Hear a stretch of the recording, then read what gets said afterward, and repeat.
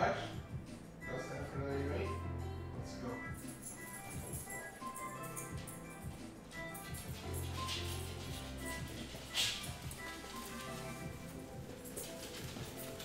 Is that the four?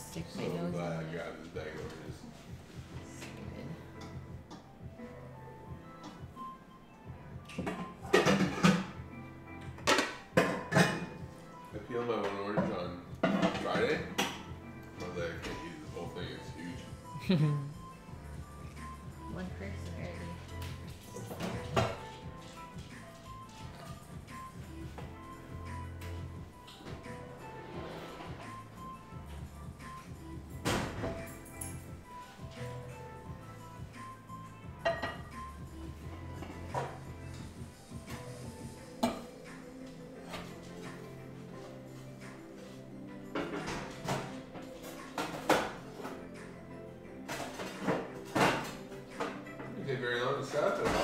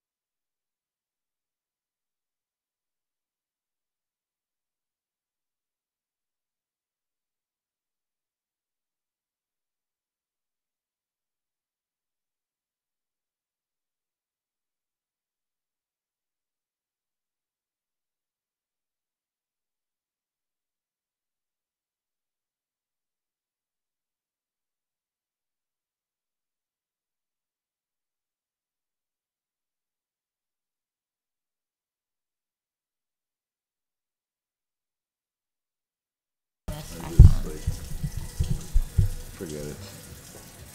I'm Not interested. Are you done your food already? Hello. Oh, jeez. It's okay. Dad's stream bombing. What's up, everyone? Welcome to Cook with Kait Sunday Fun Day edition, round two. Making some pizza today from scratch. With our beautiful dough that's been rising for 24 hours.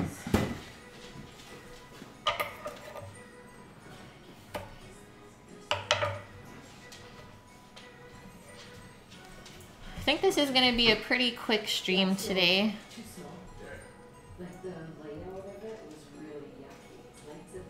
The pizza won't take super long to make since we already have the dough ready. I'm just gonna form it, I think, into two separate bowls and let that rest for let's say half an hour before we press it all out and then make the pizzas. So we're also making brownies tonight.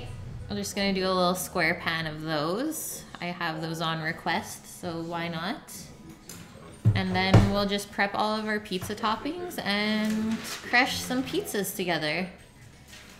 If anyone is interested in the style of pizza dough, this is called a biga dough. So this is, has a pre-ferment in it, meaning like a sourdough starter or anything along those lines. And that will help to create a lot of flavor and strength in the crust instead of just using instant yeast. So I haven't made this before and I'm super excited to try it. You can definitely see how bubbly the dough is so far. And then this dough is also a little bit different because it bakes at a super high temperature, around 500 degrees in your oven. It's actually meant for like a wood pizza oven or a wood stove. So that would actually get cranked up to around 600, 700 degrees Fahrenheit.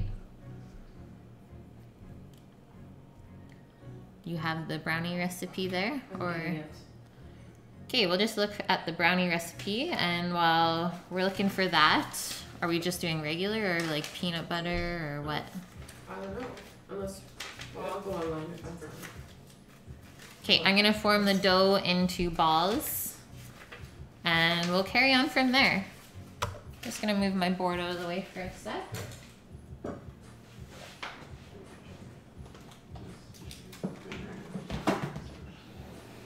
You might need a little bit of flour just to shape the dough. It seems like it's pretty sticky, like it's quite a wet dough to start with. And you'll probably need like a dough cutter or a scraper.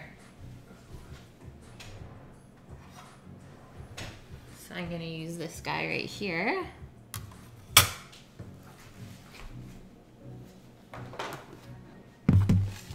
And I'm just gonna turn the camera down so we can all look at what's going on here. Dough is like one of the coolest things to me. It's magic, especially when you don't put any yeast into it. So this is just naturally fermented.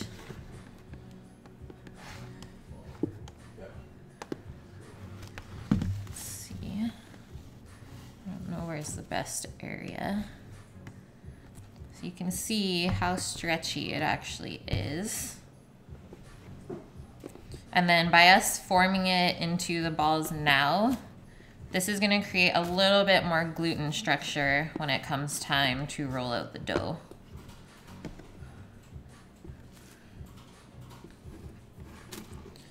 And you might just wanna dump it onto some flour on your counter, just so it doesn't stick too, too much.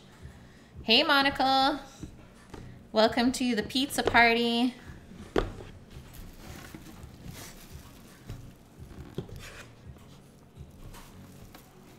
We're just about to ball our dough. I think I'm gonna make one round pizza and one rectangular. But we're gonna ball our dough first into those different sizes and then let it rest for probably another half an hour before we actually start to top it and bake it.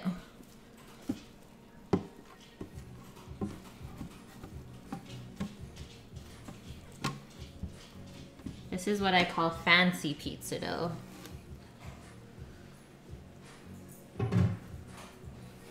There's lots of love put into it.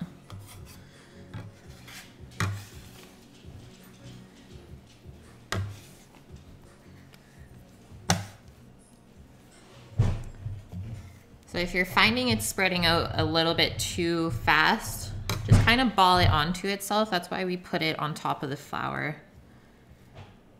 Mixing that little bit of flour in now is gonna create some good structure for us later on. You can kind of see how it's coming together better now. It's kind of similar to making a loaf of bread as well. This would be called folding. And when I make sourdough bread, I usually do six folds in half an hour intervals apart from each other. So it takes quite a while to develop your dough, but you don't have to knead the dough then. By doing those folds, you're incorporating the air, but also building up the structure of the gluten just over a long period of time. So that's why you get your really nice crust and then fluffy inside.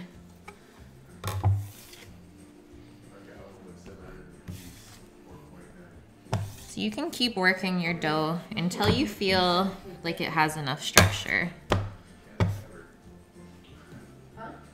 Like I said, I've never made this dough before, so I don't really know how it's supposed to turn out.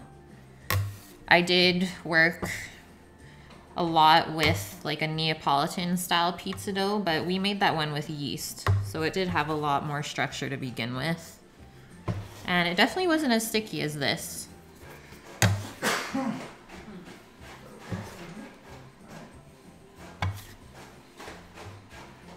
I think we're getting there. It's starting to hold its shape. This is like the most fun part to me is just like playing around with this. Kind of makes you feel like a little kid.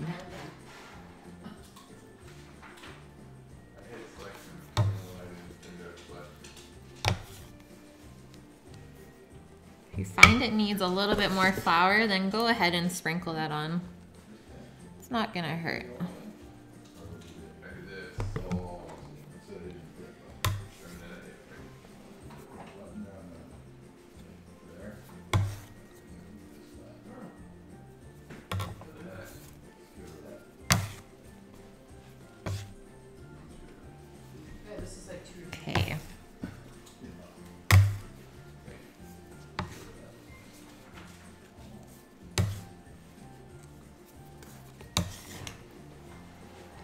So I am using for my pizza to bake in today, I have one round flat pan. Is like this size. I think it's probably 12 inches, I would say. And then this really nice, heavy, large rectangular pan. So just kind of divide your dough into what you think each pan will hold. So obviously one is bigger. There's no chocolate in this one. And then also I'm gonna make the round one a little bit more thin, Neapolitan style. Whereas the rectangular one is gonna be more of like a Roman style. So fluffier dough and crust, almost like focaccia. So now, Okay, let's get some more flour here. And then we're gonna try and ball it up. So I just pat that off.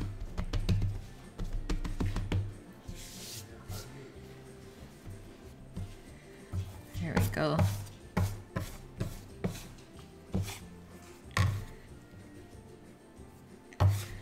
So you'll see in a sec just how stretchy this is.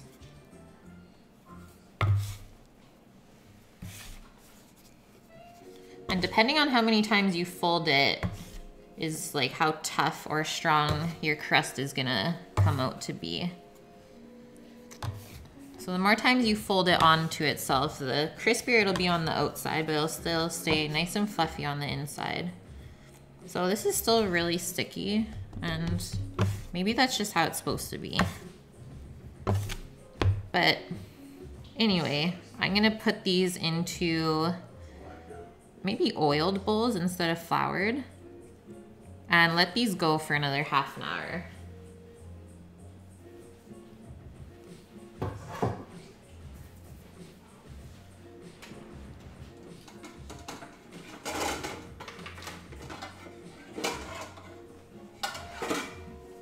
So I'll use this size for the small one.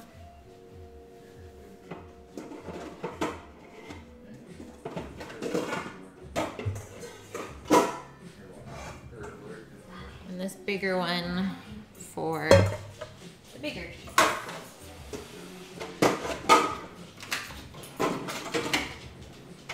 Grab our oil. Just use a squeeze bottle to squeeze it into the bottom there. You don't need too, too much.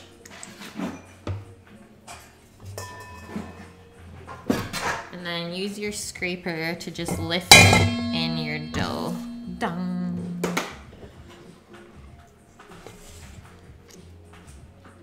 And then that should rise a little bit more again over the next half an hour. And then we're gonna flatten it out.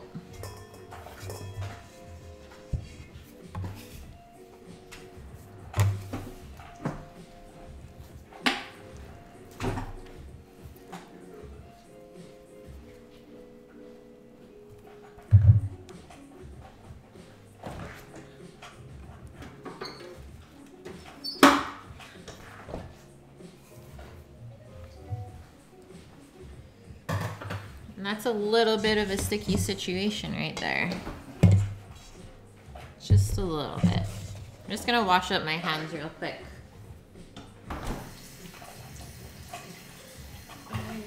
Getting everything together over there? Sure. Yeah. I won't be in your way there. Oh, we can make it together.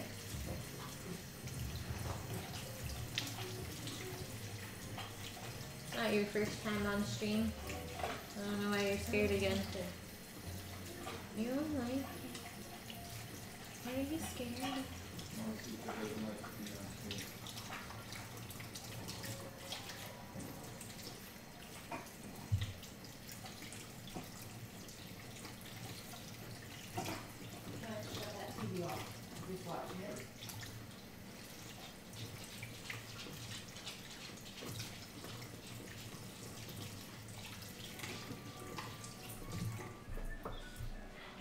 Also, whenever you're working with a really sticky dough, always wash your hands with cold water, and then it won't kind of cook onto you as you're washing your hands.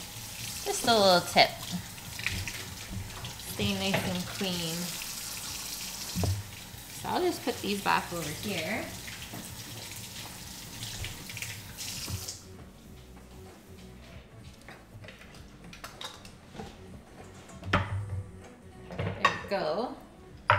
Hopefully you guys can see them transform.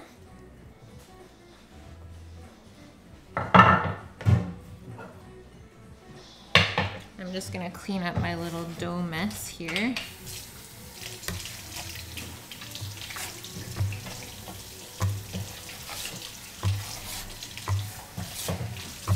We're making peanut butter brownies today. Yeah. We're making peanut butter brownies today. Sam wants his idea of adding chocolate is your little Haribo balls at the very on top just before they're done. Oh. Or when they come out. Or when they come out, like Interesting. yeah.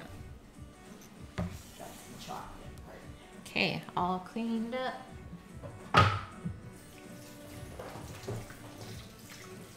Are you done with your board over here? Yeah, I just need to wipe this.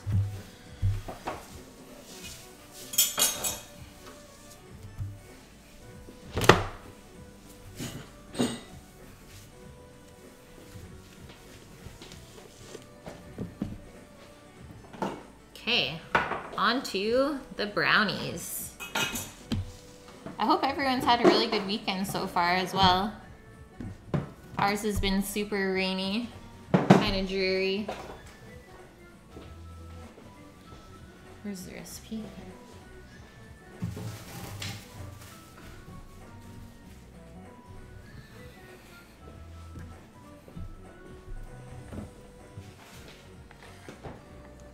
What is everyone's favorite kind of pizza? We're gonna be doing quite a few different kinds today.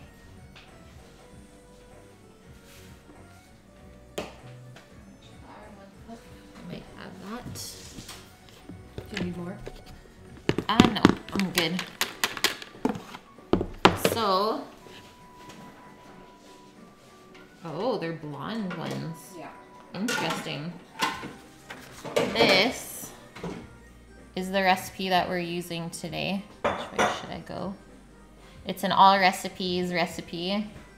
And they're actually blonde brownies, not chocolatey ones. But I'm sure you could put some cocoa in there if you wanted the chocolate flavor. You want to bake them before you bake the pizzas, or Yeah. 350? So oven to 350 Fahrenheit.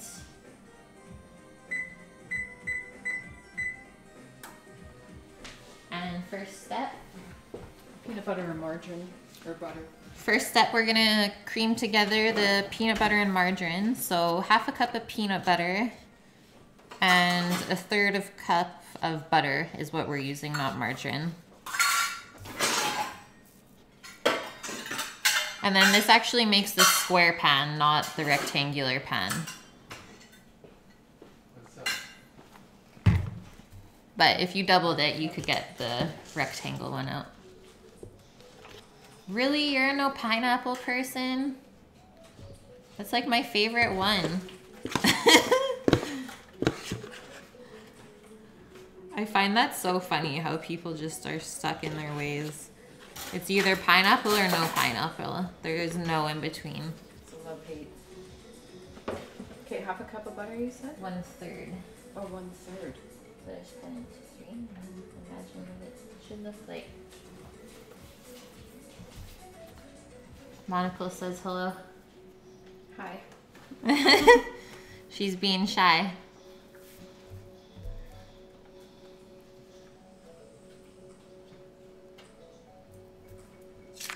Okay, so the next few ingredients, I'm just gonna list them off now so we can keep going on this pretty fast.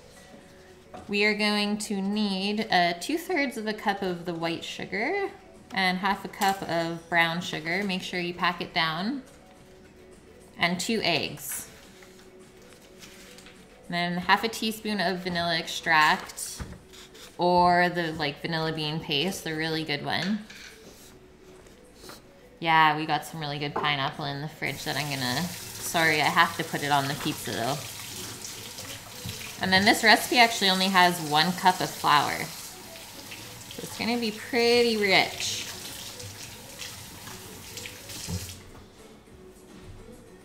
What are you using to mix? Just a wooden spoon. Okay. Should be okay. Yep. I don't feel like getting a machine out for that. No. How much half a cup of peanut butter? Yeah. Okay, I'm gonna bring the bowl over here so we can watch these brownies in action.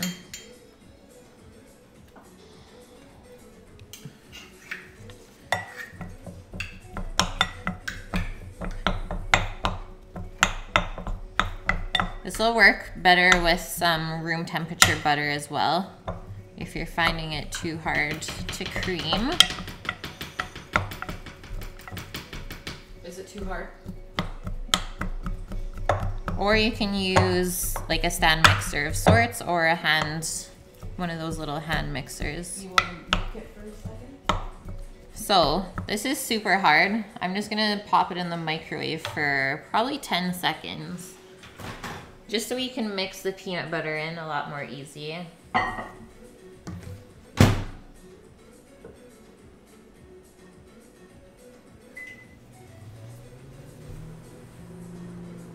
Who else is the pineapple lover?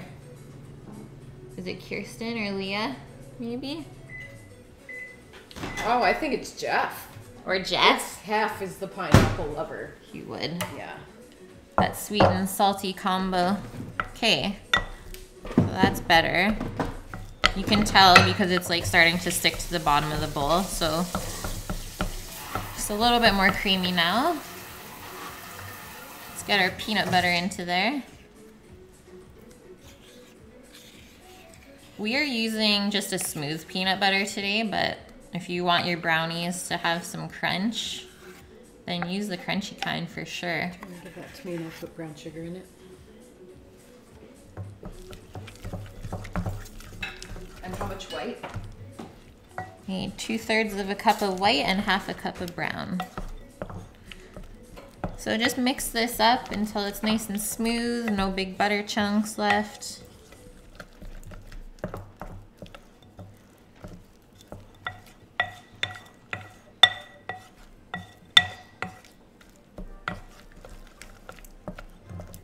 I like to use the side of the bowl to just kind of mash it.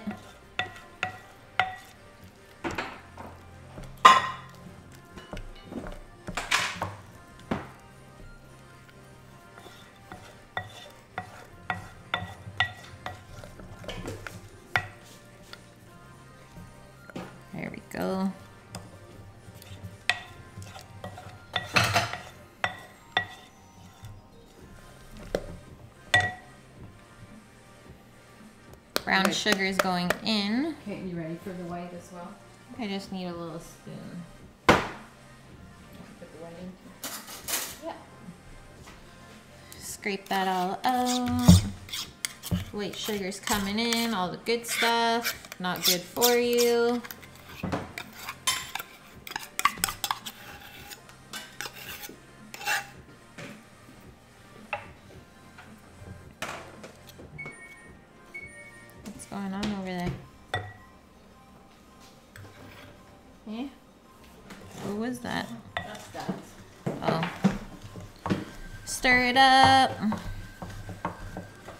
Gonna get thick. Did you get your eggs in already or not yet? I don't have my eggs in yet.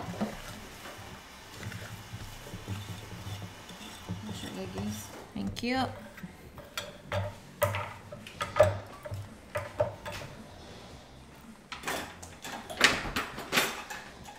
Handy dandy spatula.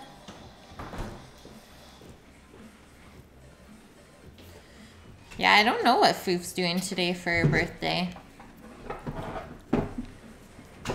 If she comes in though, I'll for sure give her a shout out.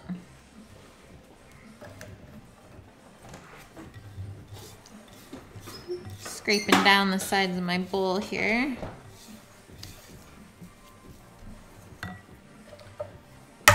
Now I can mix in the eggs.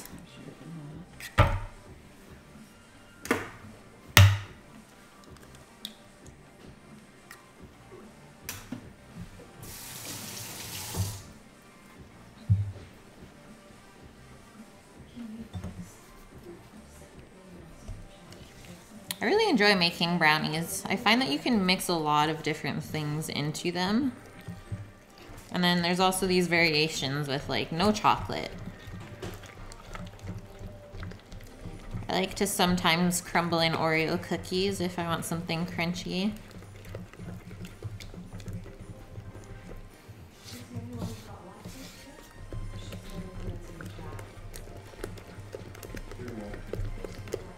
Okay, that's really nice and smooth.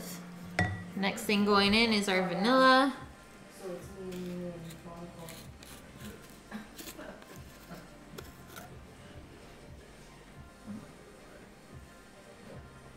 Good dollop of that in there. Um, spray the pan. Sure. And we're gonna spray our pan, our baking pan with pan spray as well. Just so it doesn't stick.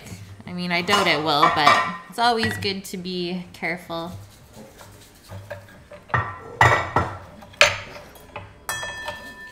Okay, next thing going in is the cup of flour, and then a teaspoon of baking powder and quarter teaspoon of salt.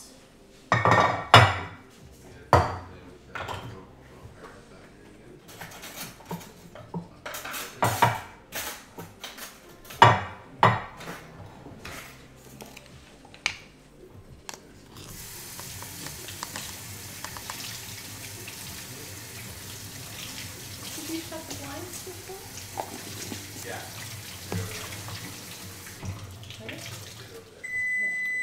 flour.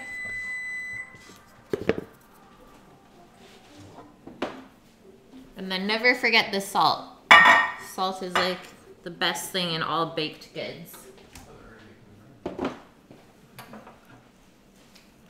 Gives that nice contrast to all the sweetness. Do you want your flour to stay out? Yeah. You're gonna need it? Yeah.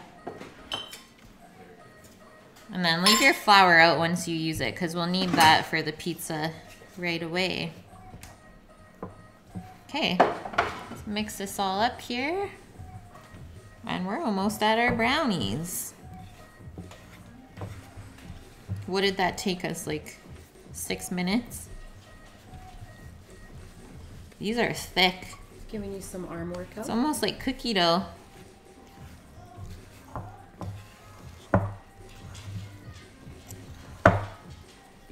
Always make sure you go down and through the middle. That's where the, all the flour likes to stick. But we don't want any lumps. So, there we go, guys. There's our brownie mix. If you want, I could sprinkle some chocolate chips on. But I'm gonna pull out our little variation today. So we have these little dark chocolate crispy things, crisp pearls. And it's like crunch, like I would what a Rice Krispie coated in chocolate, but we don't want it to melt too much, so we're gonna put them on like right when the brownies come out of the oven, so they just kind of melt and stick on. How was feel through today?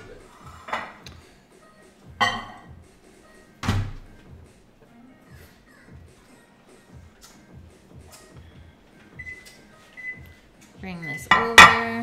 There's still like the trees, sh- shrapnel or whatever is still on there. They haven't cleaned up yet. I would assume tomorrow. You wanna go outside? I tell Monica about our no power Saturday, Sunday.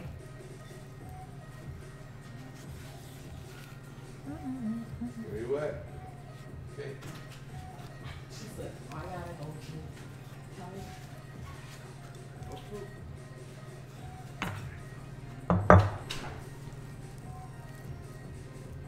Just spread that out into the bottom of the pan as even as you can.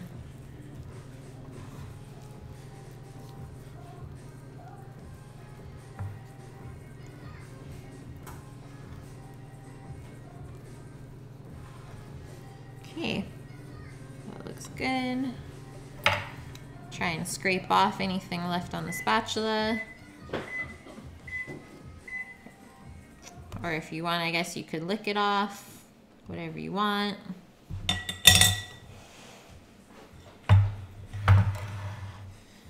And now these are going to bake for half an hour.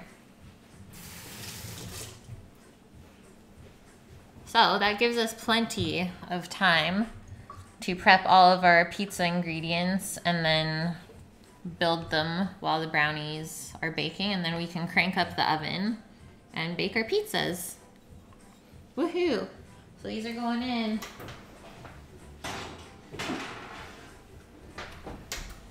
Set my timer. Actually, let's.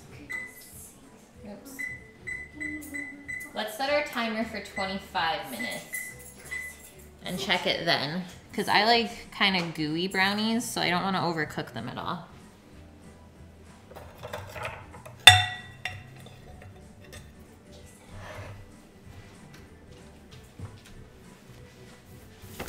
These little guys can chill back here.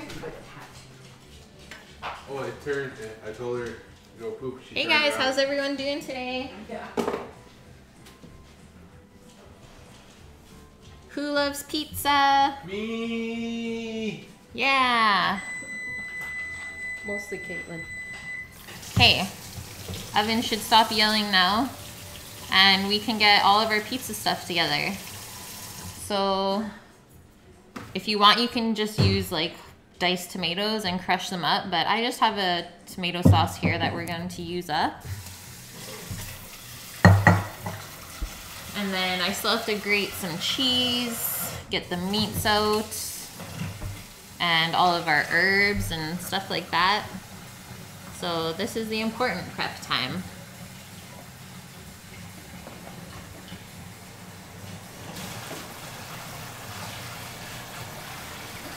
Okay, a couple different kinds of cheese here. I think I'm just gonna turn the camera down for you guys so you can like look at everything that I picked for my pizza. There's our cheeses. I have parm and two different types of mozza.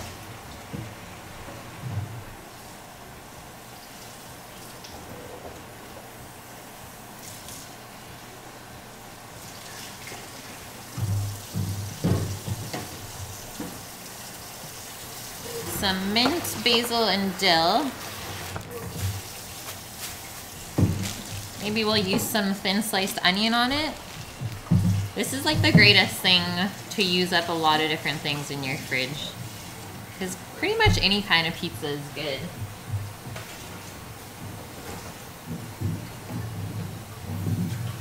With uh, some other cheeses here, a goat cheese and ricotta.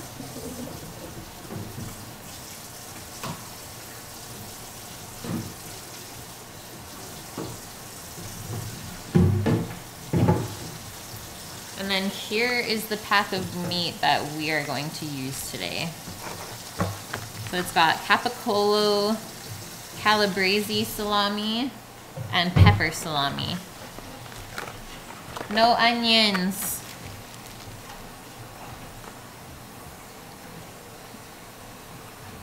Do you want some of Sam's bacon as well, or? Uh,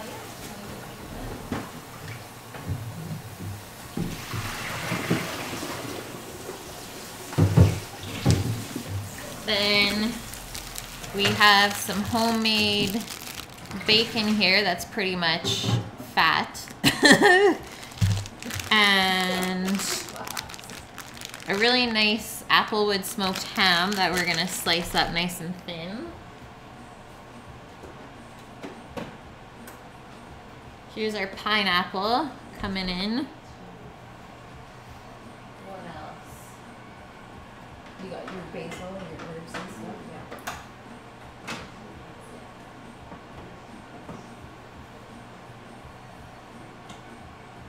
I think we're gonna stop there. I think that's enough.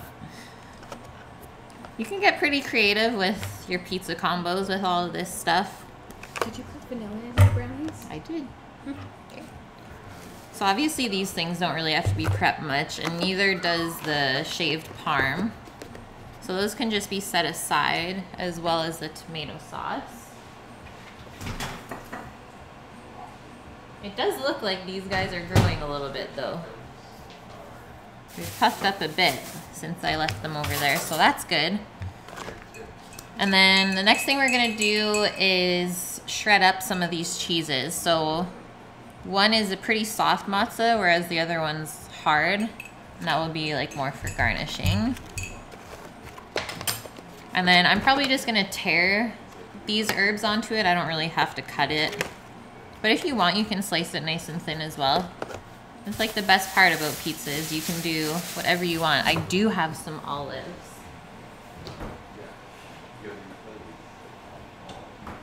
I actually have these really nice, I don't know if you've had them, Cerignola olives.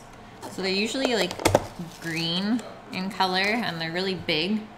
But all we have left is the black and pink ones. So I can cut those off the pit as well.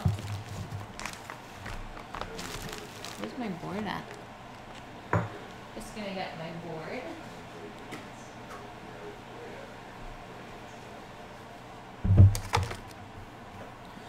And I'm gonna do the cheeses first. Do you want me to do something? So I got my grater here. Nope, you're good. Bring it on in.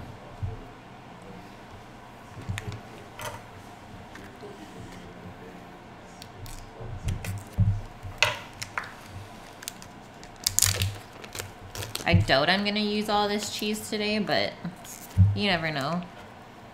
Cheese does freeze quite well if you do have leftovers of sorts.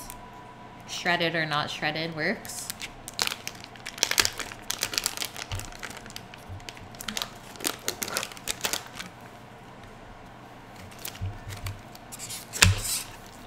Let's just cut this in half.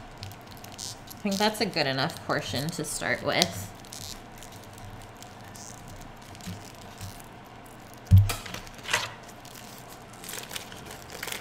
Oh yeah, it's nice and stringy.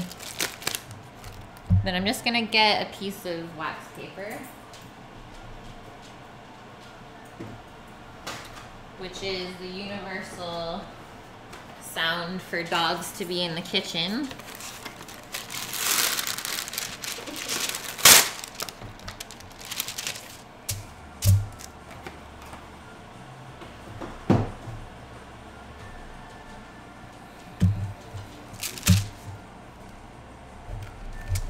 So I bought the brick instead of the pre-graded because this was like half of the price, I think, of the pre-graded like Kraft or crackle cracker barrel kind.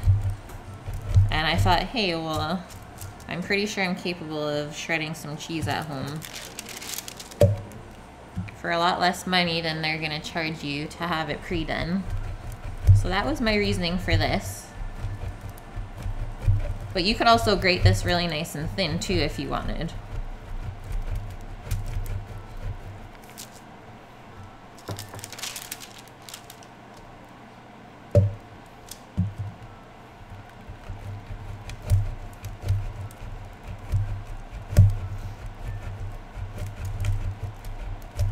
And I definitely find making pizza from scratch is much more rewarding than getting it delivered to your house.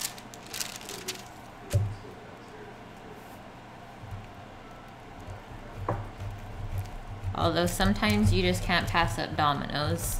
it's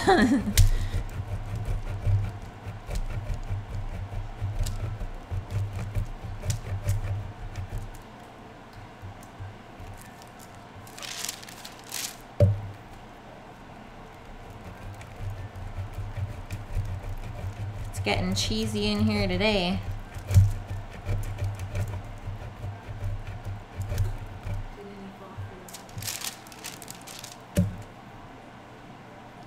Maybe some has to fall off the edge here.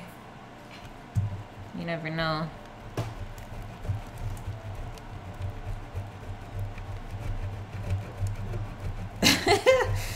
Ah. my little sous chef in the background. Okay, we're almost there. Getting that workout in.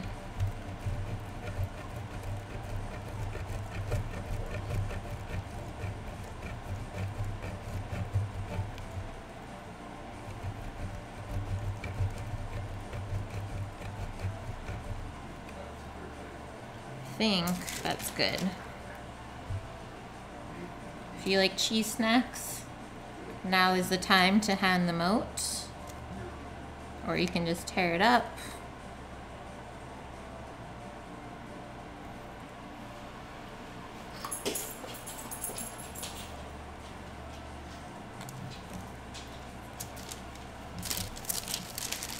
And I'm just gonna put this over here for our pizza building station. And I think I'm gonna tear up this cheese by hand, just because it's a little more soft.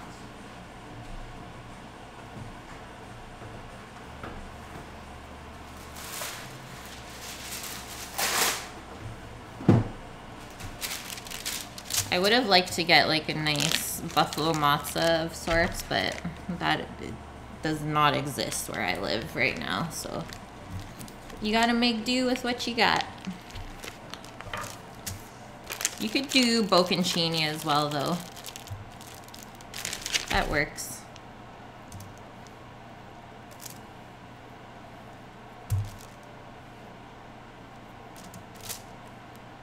So you can leave pretty big pieces of this one. And you can decide what you want to do with it after.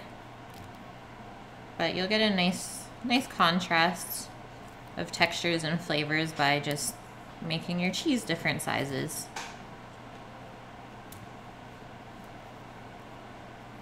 You could also put this one on near the end and just have it slightly melted before it comes out of the oven. That way it's really ooey and gooey.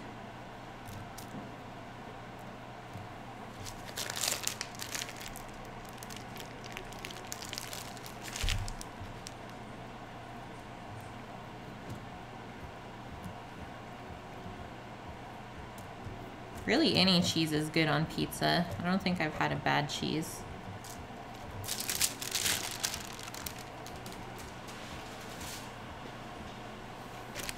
Okay, those can just be put aside in case we need any later on.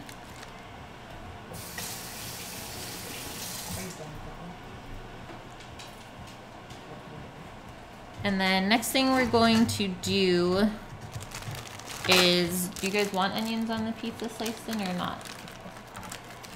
Okay, everyone's saying no.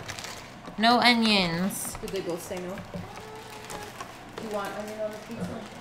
Okay. Yeah, that's it a little bit. Kait, we're doing onions still. Just do crowd is yeah, torn. one half or something. And I'm just gonna slice these olives off of the pit.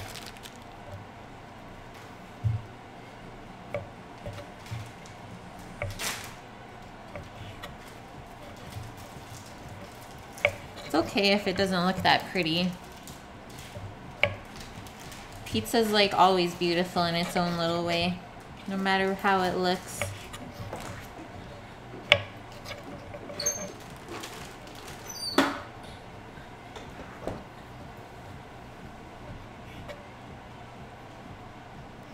So I'm just following the pit with my knife.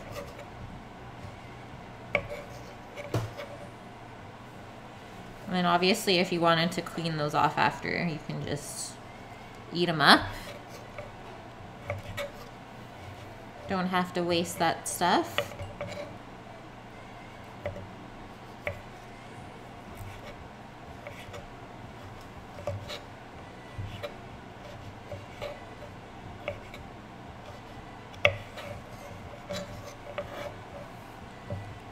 And we're over halfway on our brownies. I think my timing is on point still. We got 11 minutes left.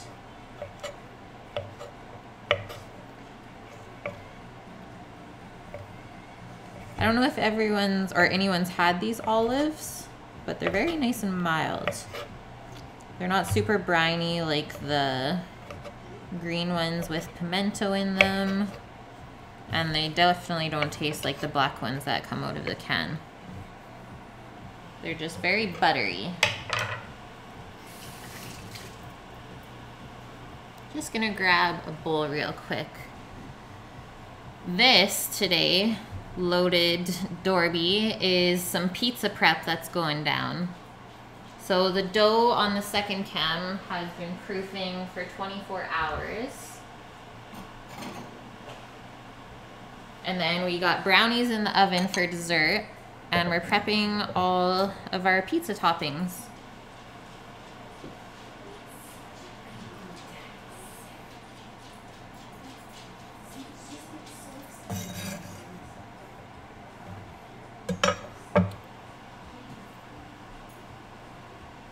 What?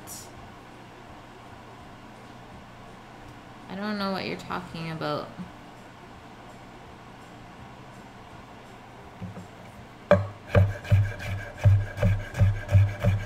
Trolls are in the house.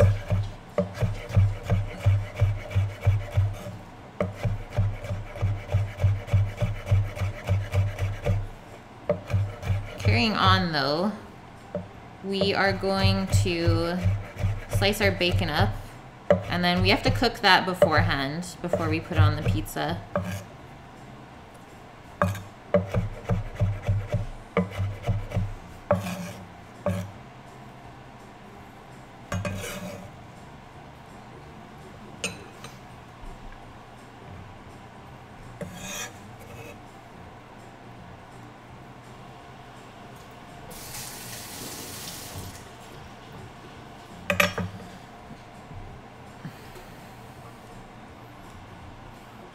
See a band coming up right now.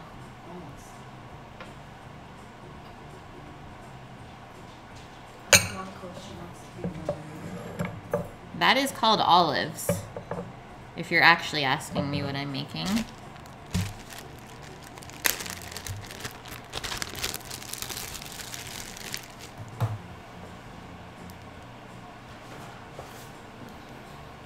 I always like to cut my bacon up on like a cut plastic cutting board. That way your board doesn't get all dirty. But I'm gonna cut up these onions first. I think I'm going to do another Italian kind of olives. They're called Cerignola. They're fancy.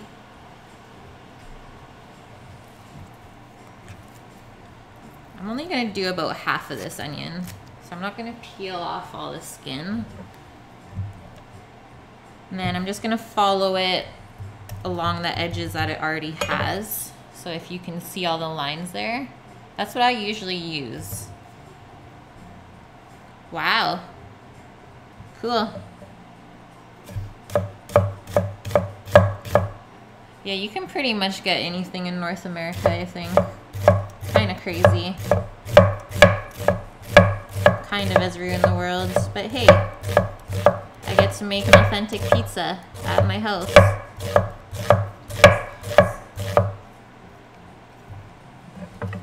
There we go. Those are nice and thin.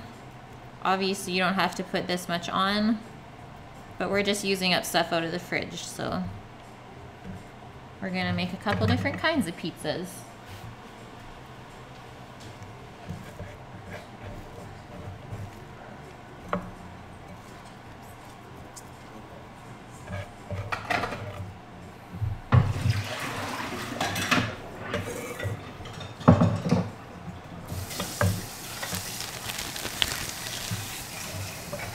Set those guys aside. And then maybe we'll do our pineapple as well while we're at it. Yeah, doggy. That way all of our vegetables and fruit are cut up. And then we can just move on to the meats. So I think that will be enough. Calm down. nah, it's okay, guys. It's Sunday fun day.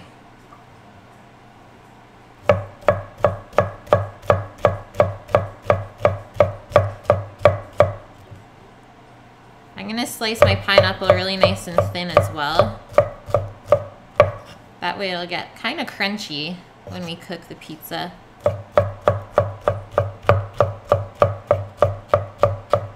You could also leave it in larger chunks though. It's up to you.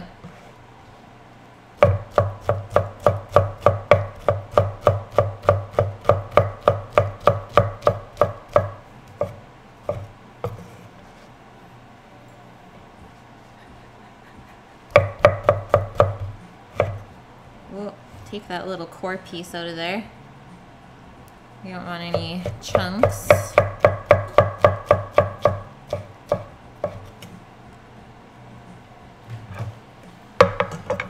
Into the next bowl.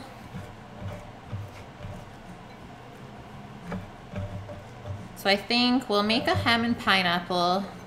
We'll make a margarita. Yay, I love that monocle. That's what I'm trying to do. Trying to get everyone to like cooking at home again, even if it's by yourself.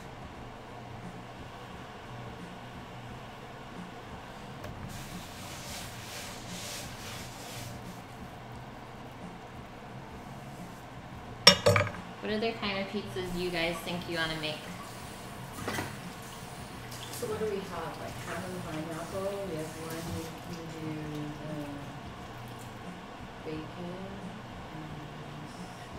Do a bacon, Okay, And onion. and get some arugula if you want. bacon, onion, and arugula. That sounds good. And tell me when you need it. It's just boring. Okay, on to our meats. So, since the ham is already cooked, I'll slice that first, and then we'll slice the bacon last. It's all about keeping your station really nice and sanitary and clean.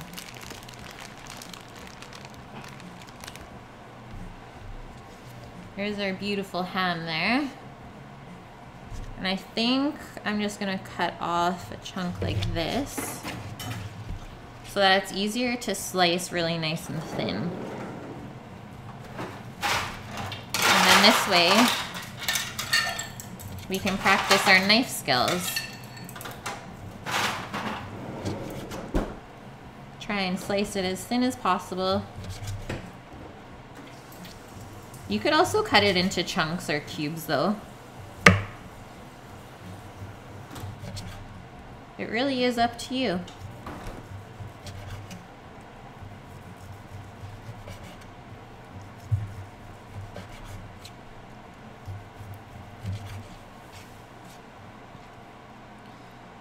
Great night, Monica. See you tomorrow.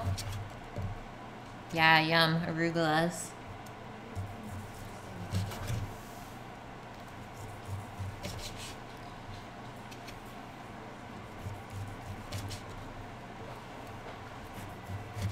Everyone's favorite type of pizza. And go.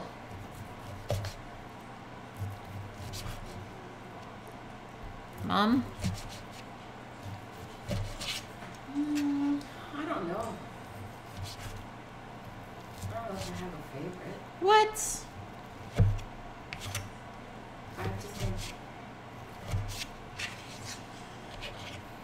Actually, let let's actually cut this end up and not just throw it away. There we go.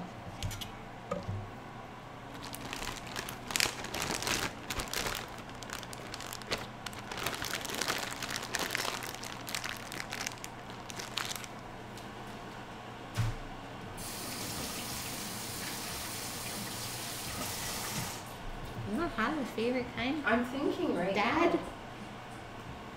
More bowls.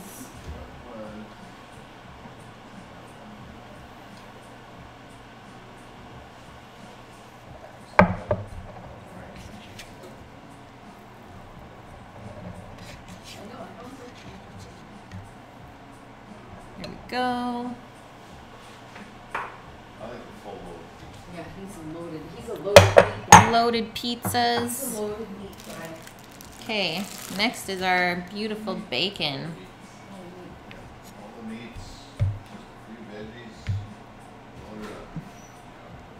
I'm gonna cut the bacon a little bit thicker and we'll make lardons out of it and then we're gonna fry it. And by me cutting it thicker here is I'm gonna fry it still in the pan so it'll get crispy on the outside but it'll still stay nice and moist on the inside. And with this much fat, it's definitely gonna shrink quite a bit in the pan. So we're gonna use it all and see what we end up with.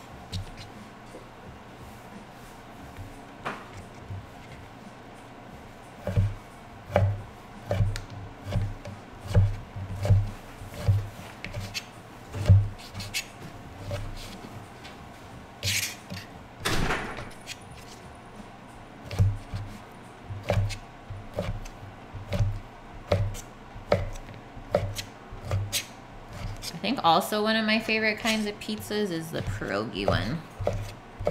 With potatoes and sour cream. That's our brownies. Just washing my bacon hands off.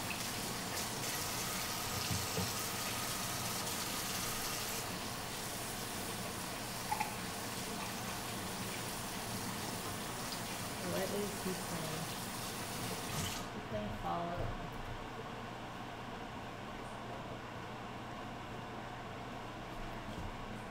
Let's check these.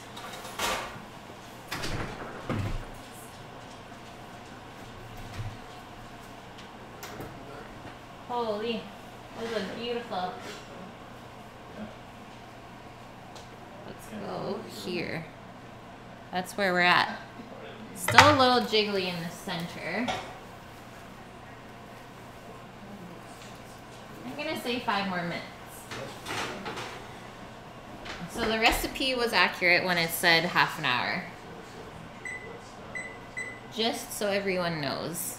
And then I'm gonna get my pan out for my bacon. Start frying that up.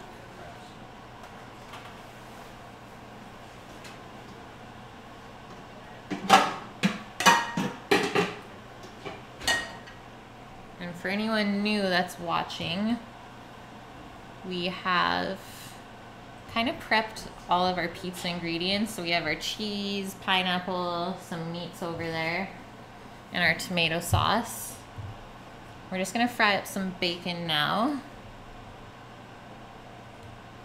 And then we also just picked some fresh arugula from the garden. So I can take the stems off of that and slice that up really nice and thin.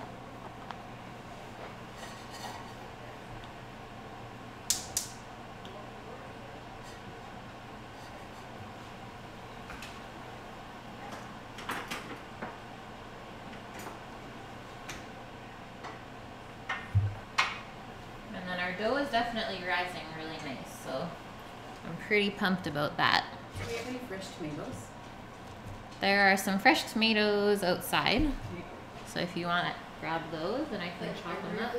Fresh tomato, broccoli, hot stuff, right? Goat cheese. Goat cheese, yeah, that's, that's kind of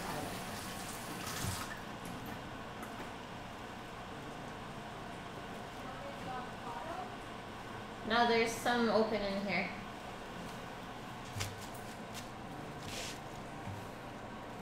So since it's winter, the arugula stems are pretty thick, so I'm just gonna pick off the nice leaves.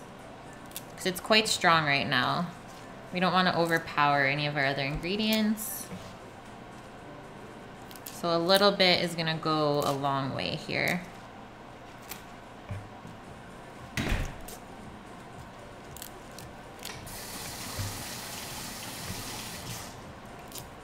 Whew, can already smell how peppery it is. I think I'm only gonna use about that much of a handful.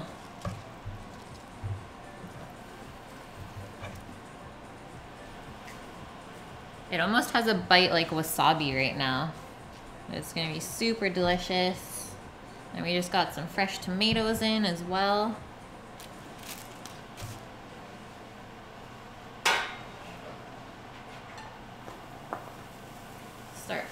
Bacon.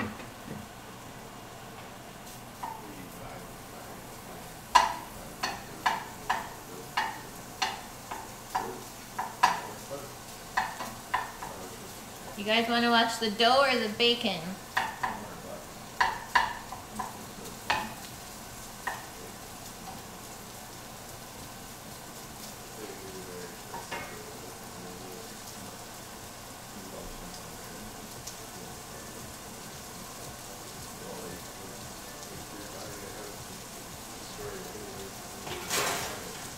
And grabbed this little cooling rack for the brownies.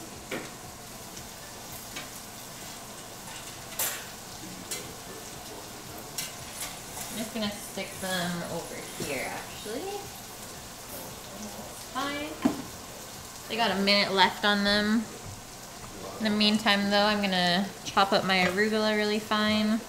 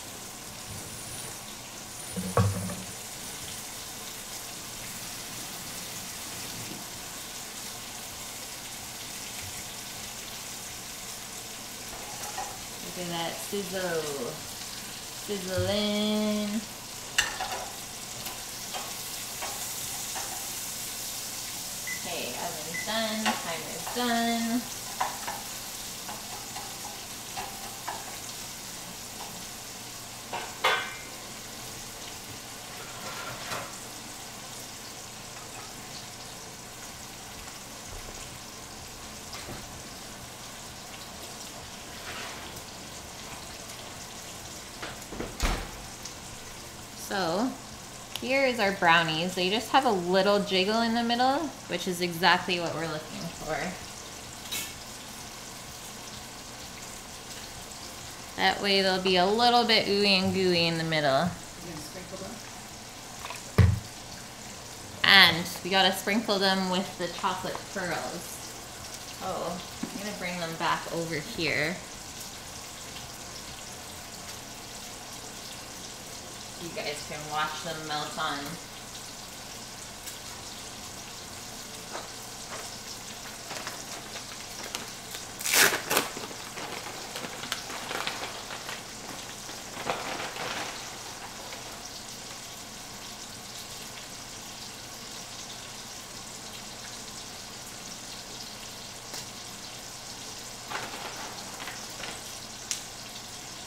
You could also do chocolate chips.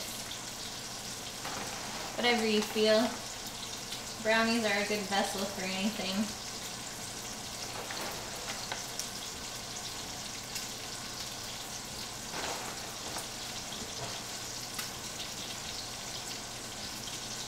I think that looks good.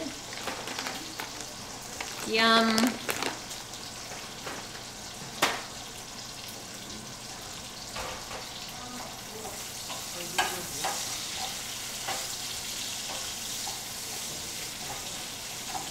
That is some fatty bacon. Now look at it. Woohoo!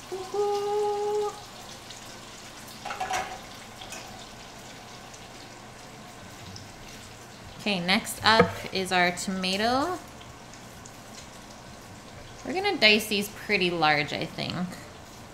We want some nice big chunks of fresh tomato.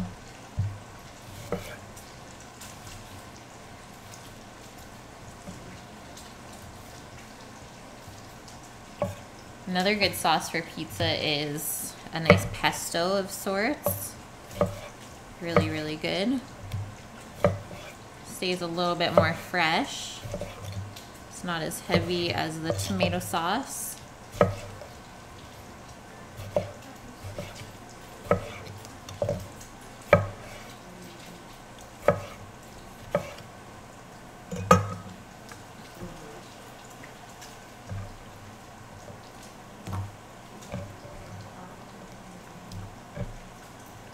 So, our nice fresh ingredients there. And I think that's it for chopping. So I can get rid of the board and just put all of the ingredients out in front of me here so you guys can see.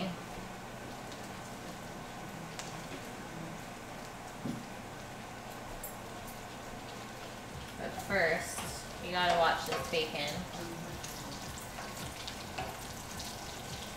You just want it rendered about halfway or 60%. You don't want it fully cooked because it's still going to cook in the oven quite a bit.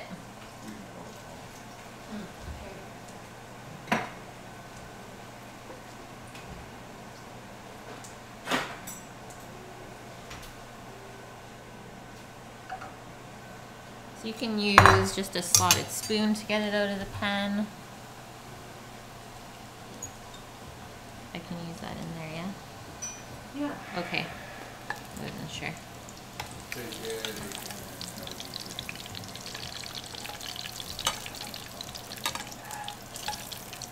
And then one thing I always like to do is keep the leftover bacon fat for making eggs on the weekend. I've also made caramel before with bacon fat. That works really well.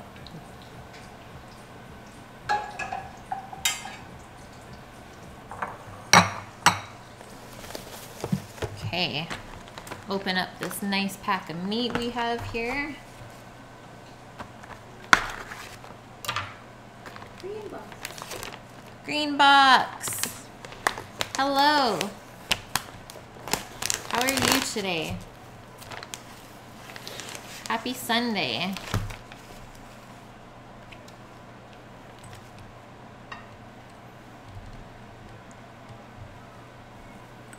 Need more surface area.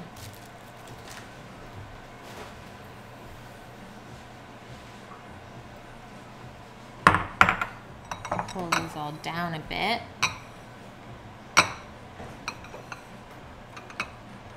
Here's all of our pizza ingredients so far. These little black and pink things are olives.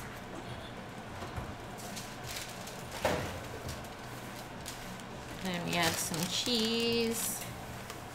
Let's see. There we go.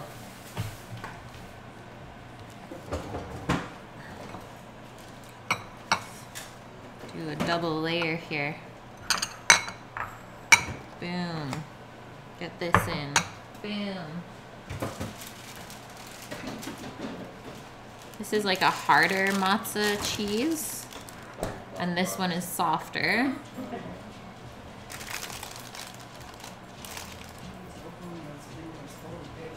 And then here's our awesome pizza dough that's been resting for 24 hours now.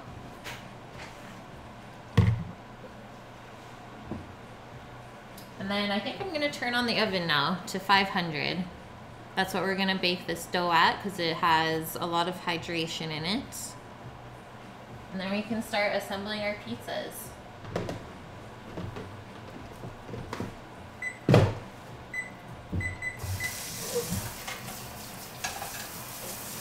You'll have to boost up your pan. Yep. And I have two different pans that I'm using today. So I have this rectangular sheet pan as well as this round one. So we'll do two different kind of styles of pizza, I think. This guy can stay over. So this bigger dough is for the rectangle pan and we're just gonna press it in. Kind of like focaccia bread. And I'm just gonna pour in some oil on the bottom of the pan first. That way it won't stick at all. Yeah, send the pizza. FedEx.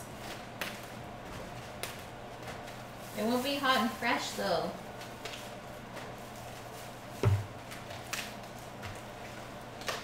And this is gonna get sticky, I think. But that's the fun part. Actually, it's a lot less sticky than when I started today, so that's really good.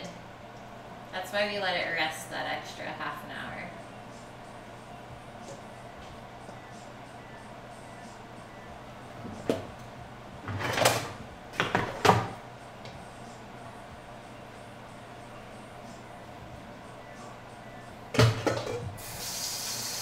I need press it out. What's up? I need the salad spinner from you. But Okay. underneath. Hmm. Kind of push it out with your that's pushing. And this dough is a lot more forgiving than just a yeast pizza dough. That's why I like to use the softer ones.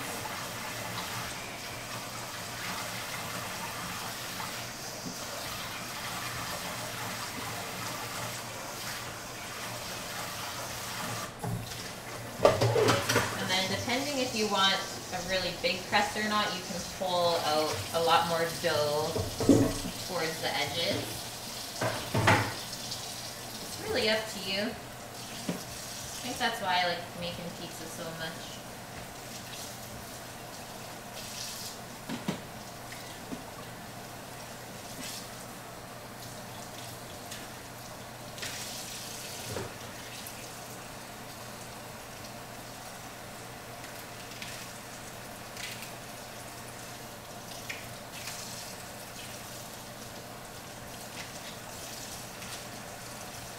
And then you also don't want it too thick in the middle because we're putting all that topping on. So it might get a little bit soggy if we keep that really thick. So the middle is just a little bit thinner than the crust.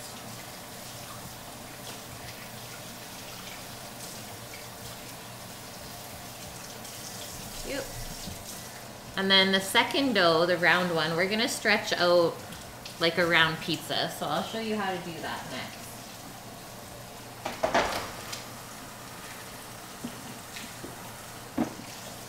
I got really good at this at one of my last jobs.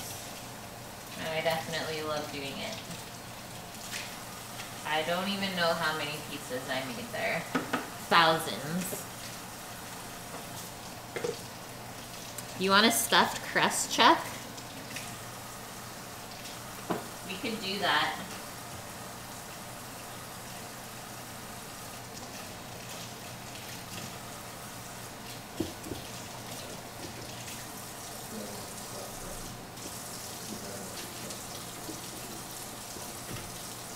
Of course he does.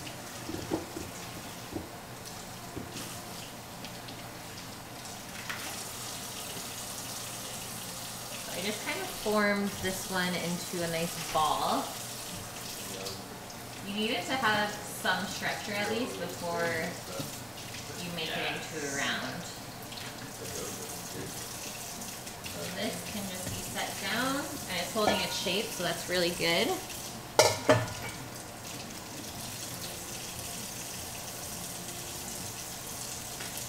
we're just gonna put a little bit of flour on top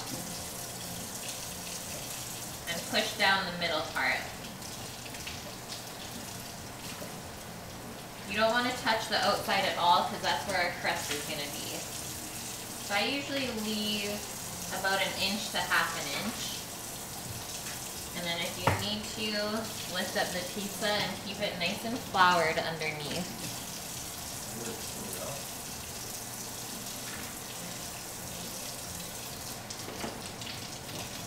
And you can keep adding dough as you see, or adding flour as you see fit if it keeps sticking. Definitely a different type of dough than what I'm used to. But it's nice to let the gravity do the work sometimes so you can take it on your knuckles and stretch it. If it tears, this is the best part. You can just sew it back up.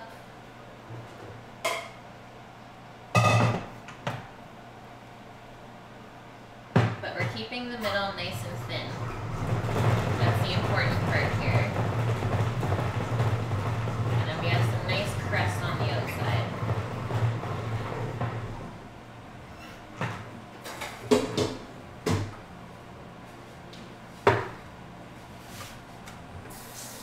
I'm gonna slide that onto the pan. And see what we have going on here. If there's any really we're just gonna crimp those up now.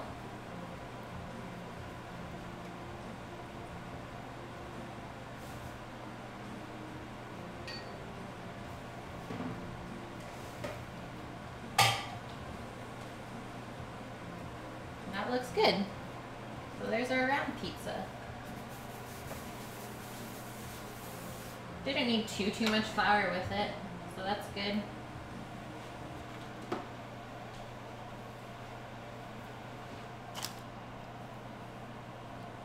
Sorry, I only speak English. I don't know what you're saying.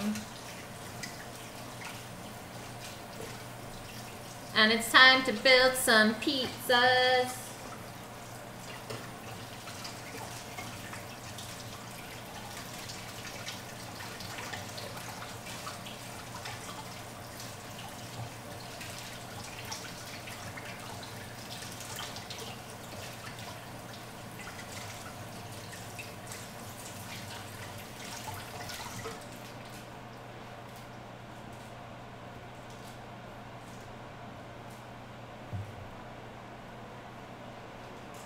Those scrapers in there. Yeah.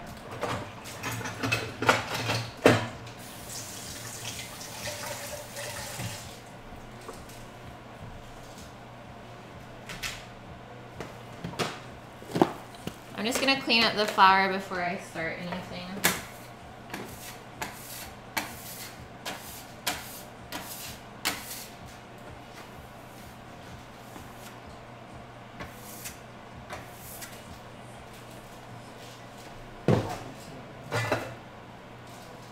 Or you're gonna need it more. Why is there an ant in there? In the cloth? I have no idea. Alright.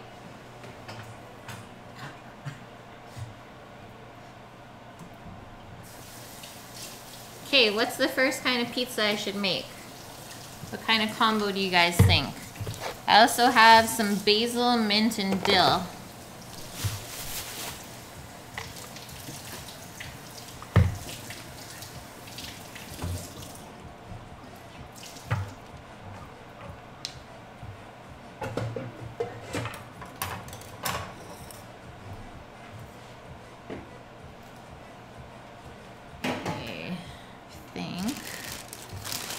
this onto here.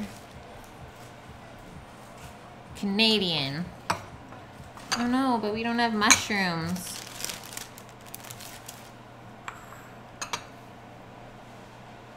Okay, let's do this one first.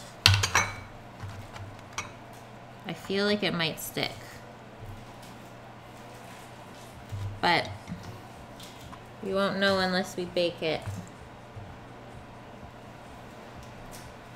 And like I said, I never worked with this dough before, so I'm not sure what's gonna happen. This is me just experimenting at home.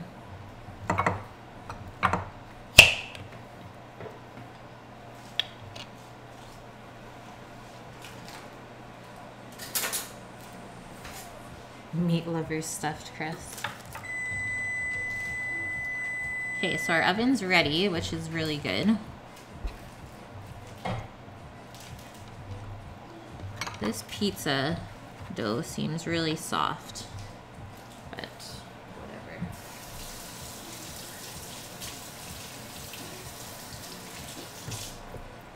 We're rolling with it.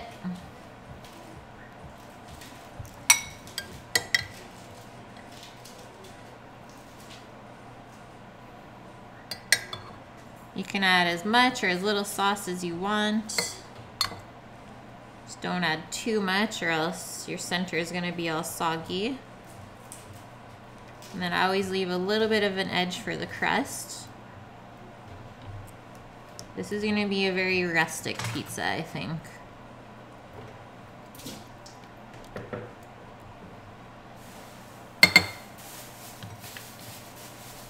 So I'm gonna start with some of the shredded mozza here. yeah, poor people. That's gonna be our base layer. Just get a nice covering of that. I'm gonna move that out of the way.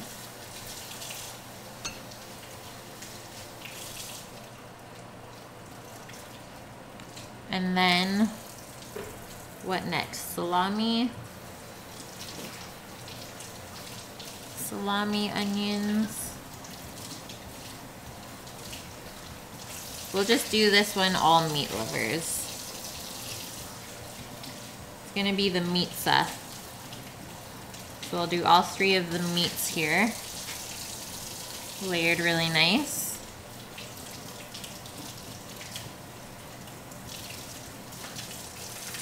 So that was the pepper salami, and now I'm doing a spicy capicola. And I'm just overlapping the meats a little bit as I put them on. That way it won't fall apart when you cut it later.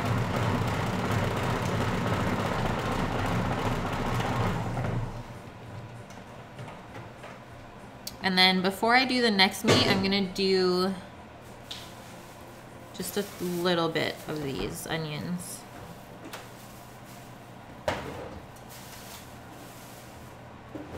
I slice them really nice and thin because I don't like big bites of onions. And then they're gonna kind of fry up with me putting on this really fatty meat.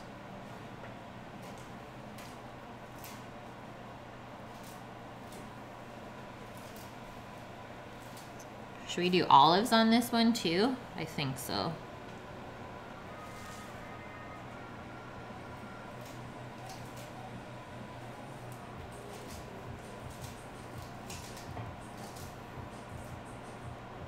Mixed olives.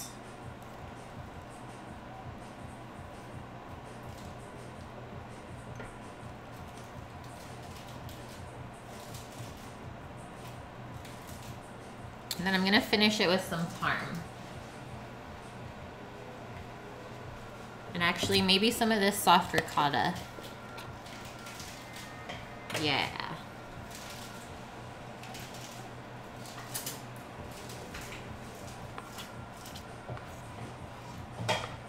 Just put little dollops of the ricotta everywhere. And yes, don't be afraid to use your hands. It's like playing with your food. Just no one's gonna get mad at you for it now.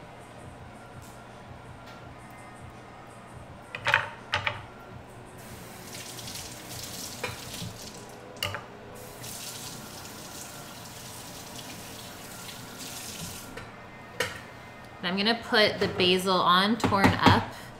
Sorry, Chuck. Yeah, I'll put the basil on before I do the parm, just so it doesn't burn in the oven. And that way it won't fall off when we cut it later. So just tear up little chunks.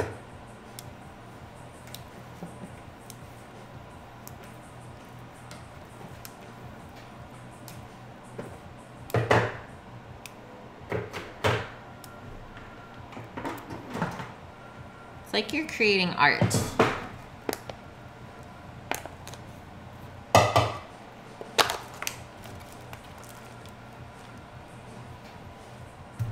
Good sprinkling of parm.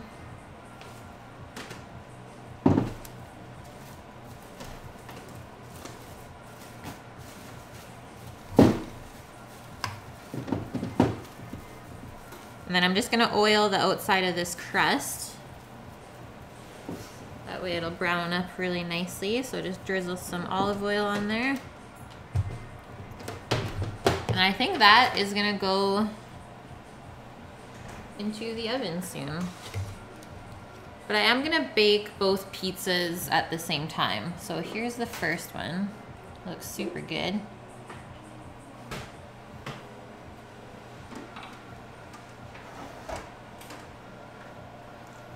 Here's our big one. So I'm going to section this off, I think into three different kinds.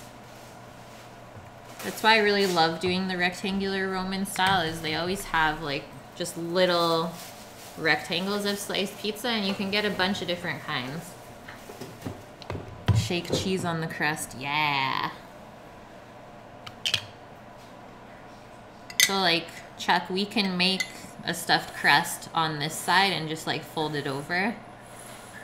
We can do that. Should I do it now? Let's see. Let's do like a line of cheese.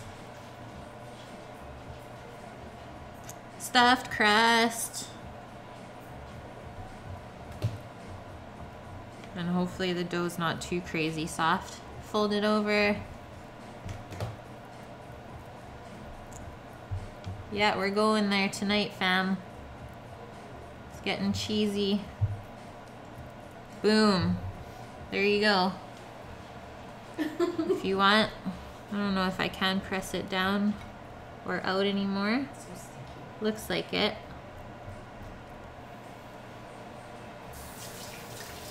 There's Chuck's crust.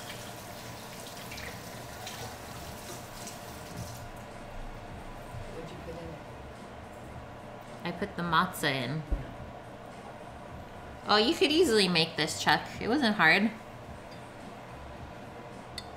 Okay, so now let's get our sauce on there.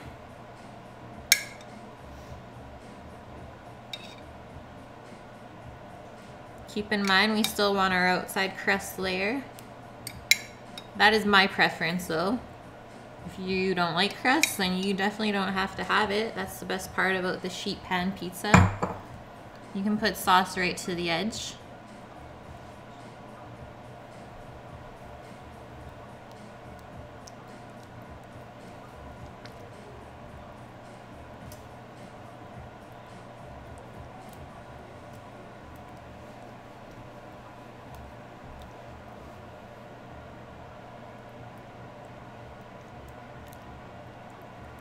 Okay, that looks good. Done getting saucy. Holy, that does look good on camera, doesn't it? so, first end for Chuck, should we do the BLT style? Yeah. Bacon, tomato, cheese. So I'll put the tomatoes on first. Stove temp is 500, so it, as high as you can go, pretty much. But that's just because of the style of dough I'm using. It's really wet. So you got our fresh tomato. Let's get our bacon lardons on there. Maybe we'll do a couple layers. So I'll put some of that mozz on now. Are you doing To three? hold that all together. Are you doing three kinds on that? Yeah, I'm gonna do three kinds. And then let's put some more bacon.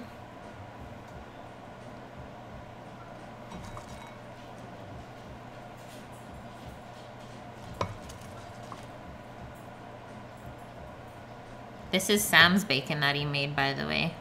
It's super good. And then you know what? Let's do some of these bigger chunks of cheese. Let those slowly melt in and get gooey. This is the cheesiest side.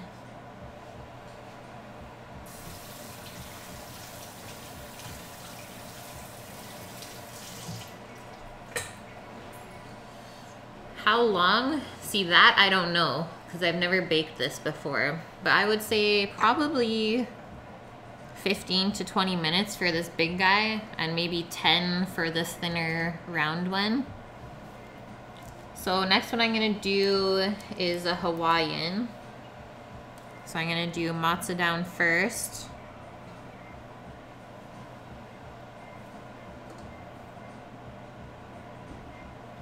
I always like to put cheese down first, that way your toppings don't all slide off the pizza.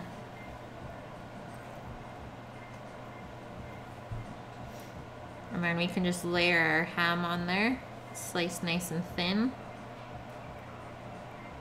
If we want to make it a little bit spicy, I think I might add some less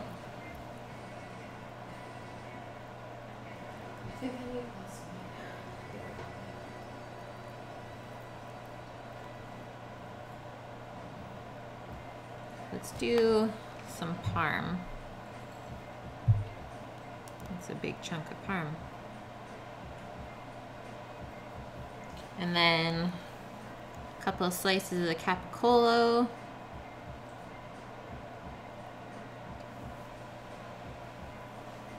Keep in mind you also want kind of the same amount of ingredients all the way through this pizza just so it all bakes at the same time. Like you don't want to pile up one part really heavy and another part not too much.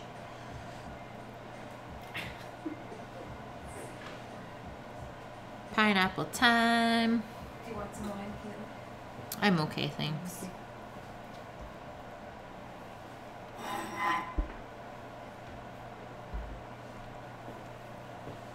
That looks good. Let's. What other kind of cheese do we want? I think I'll just finish with a little bit more parm. I like the funky cheese. Okay. Next one. We'll do Well, what do you want? the salami, I think. honey brown or this?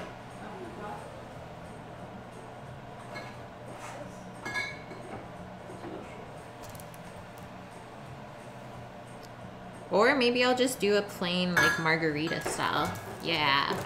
So that's just cheese and tomato and basil. Really simple, but honestly one of my favorite styles of pizza.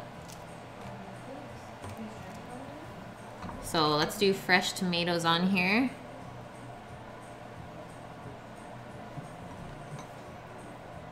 Then I'll tear a bunch of basil.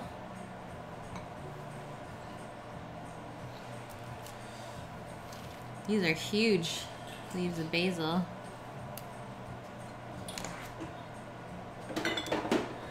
I have to short chunk something? No problem. Get on in here.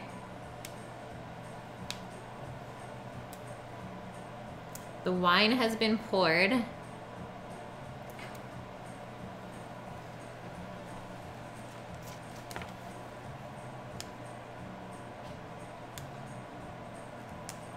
I like basil, so I'm gonna put a lot on there. And then I'm also gonna put some of this softer mozza on to melt in between.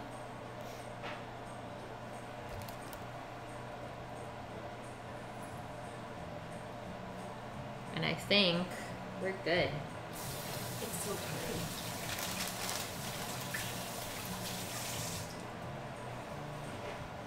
I'm just gonna snap a quick photo of these before we get started so I can post it later.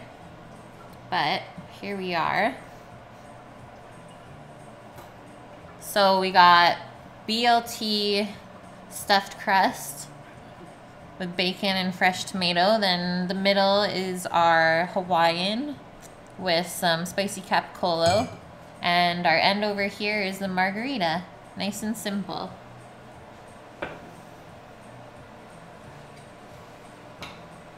And then anyone new watching, we just did a nice round pie, nice and thin crust with all three meats, so capicolo, sopressata, and salami. And we added some olives and ricotta, as well as basil and the other cheeses.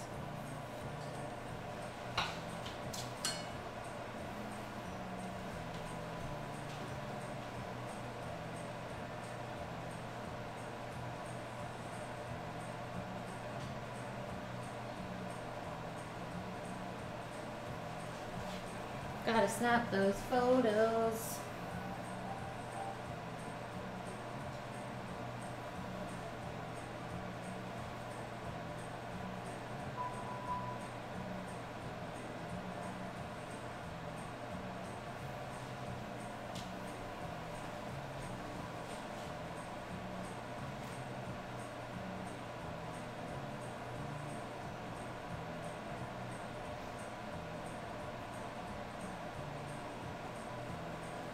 Now those pies are gonna go in, guys. So you definitely have quite a bit of the ingredients left over. But the dough is really easy to make. If you want to make it again, or you can make calzones. So I'm gonna put the bigger pizza on top right now.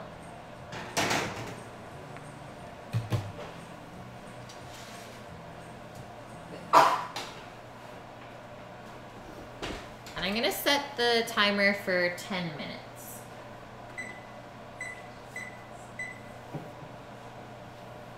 And we're gonna go from there. I really don't know how long it's gonna take. The pizzas I used to make in the Forno oven only took two minutes to bake, so this is a little bit different for me. This new Forno oven. This ain't no Forno oven.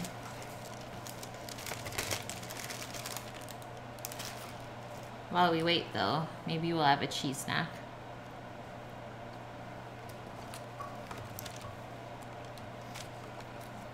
Mozza's good and soft. So I do have quite a bit of the meats left over. These are also freezable if you don't want to use them all at once.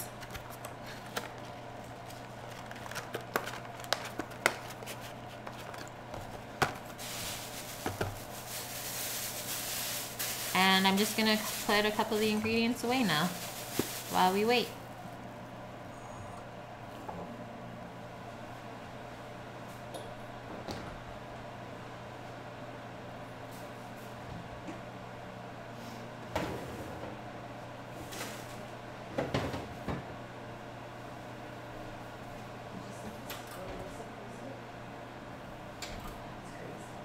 Gonna pray that the dough doesn't go over the pan in the oven. Yeah, pizza every day. All day, every day.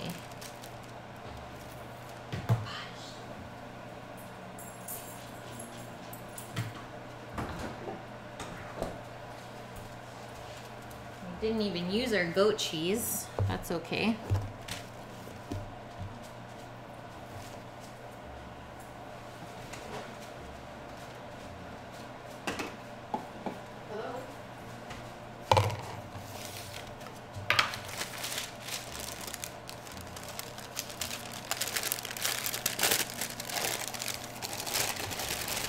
definitely getting hungry. Ready to eat pretty soon here. Hopefully we'll eat by 6. Or in like 20-ish minutes.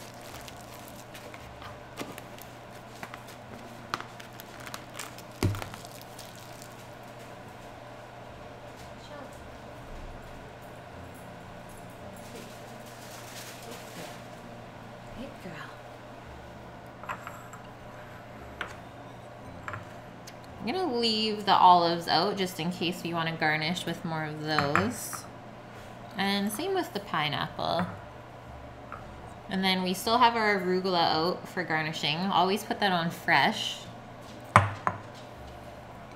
It doesn't work very well when you cook it.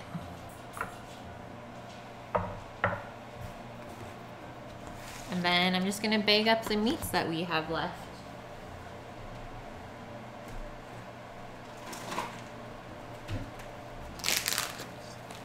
And honestly, I can smell the pizzas already. smells too good. It's only been four minutes.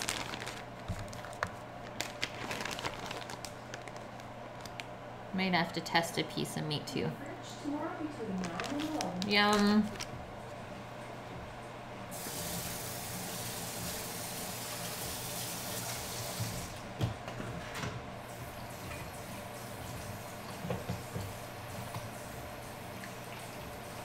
Did you guys see the dessert yet? The brownies?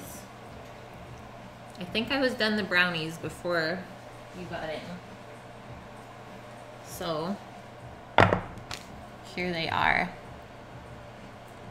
They're peanut butter brownies. And then we put crispy chocolate pearls on top after they were baked. So they kind of melted on. And that's it. That's our nice little dessert. Not healthy.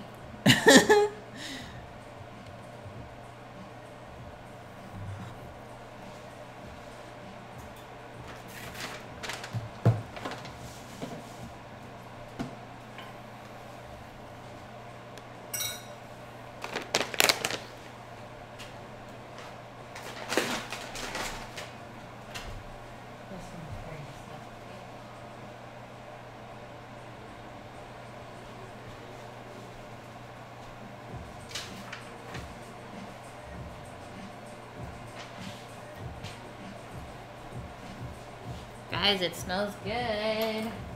Holy, it's blowing up already. Show you in a sec. Might have to do this.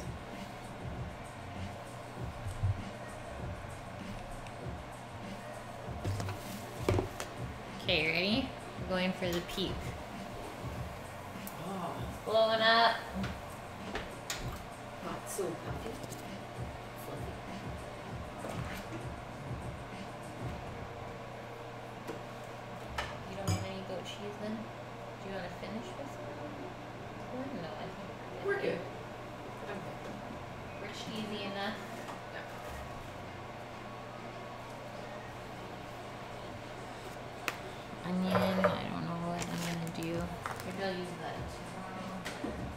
Just put it in a Ziploc maybe.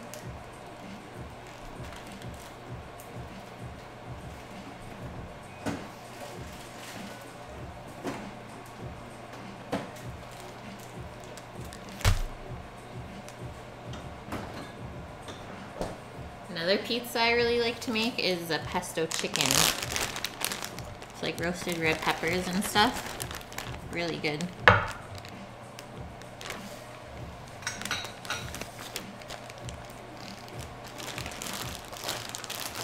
Okay, we got three minutes. And it's sizzling. You gotta turn it up.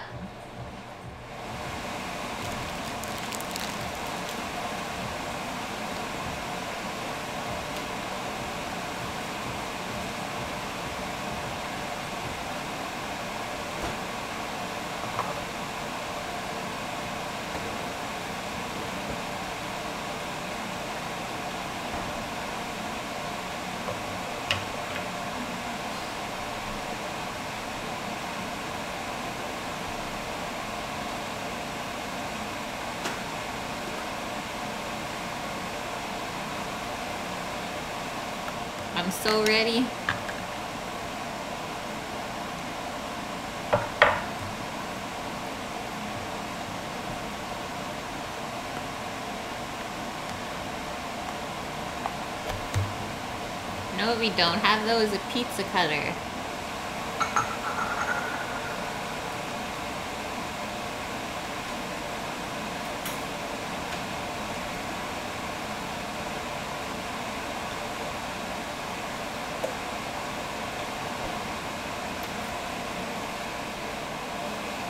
I think I'm just gonna rotate the round one on the bottom real quick.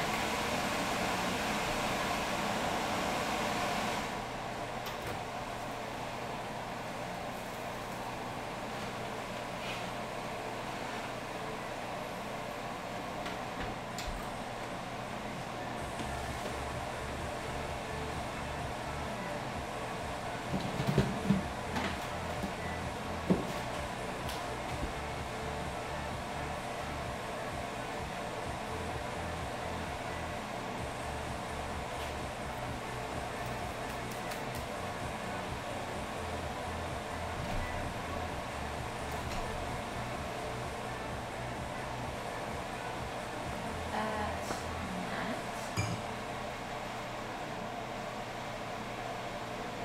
One minute. Smells awesome.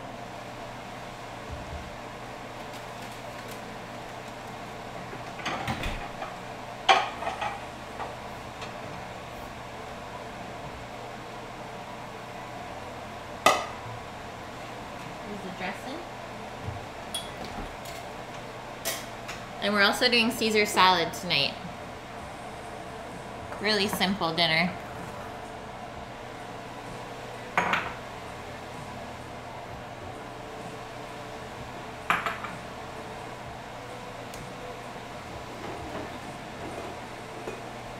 And I got some fresh cracked pepper too, if anyone wants.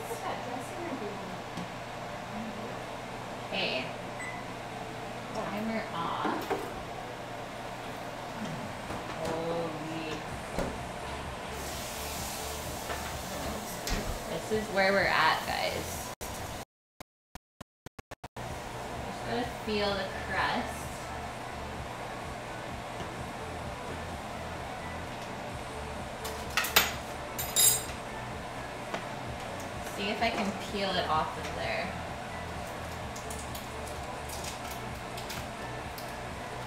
I knew it would get a little bit stuck in some parts, Oh, it's though, good. but it's not that bad. I thought it would be worse.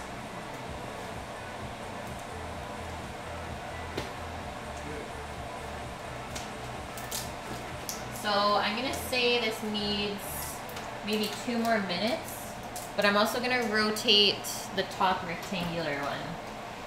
I'll just show you real quick. It's looking really good too. So that is where we're at. I would say we got maybe five more minutes on that one too.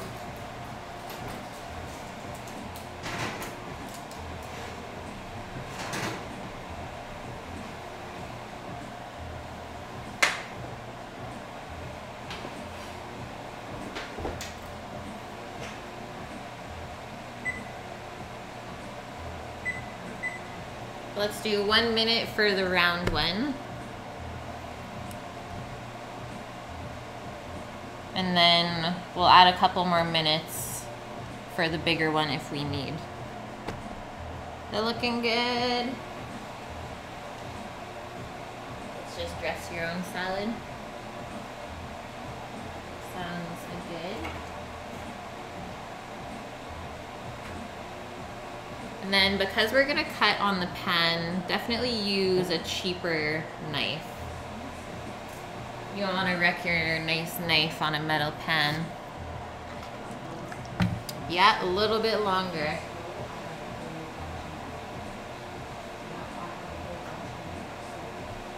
And I think I'm gonna take the rectangular one out of its pan just because it's a non-stick pan. We don't wanna ruin that pan by cutting it gonna wipe my board off real quick. That was our little round pizza, which I'll check in a second.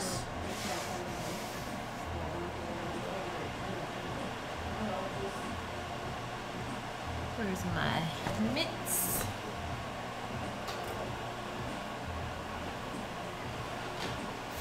Okay. That looks great.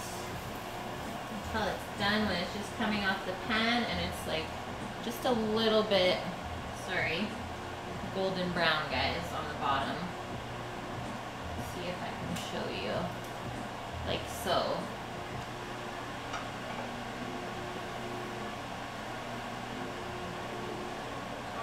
That dark color is going to give you all of the flavor. So don't be scared to push your crust a little bit. I'm to say three minutes for the big one, and then we're laughing.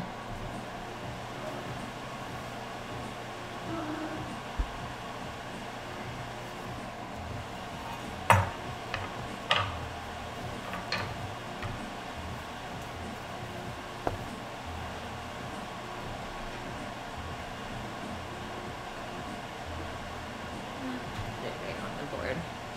I'm just gonna cut the pizza right on this big cutting board.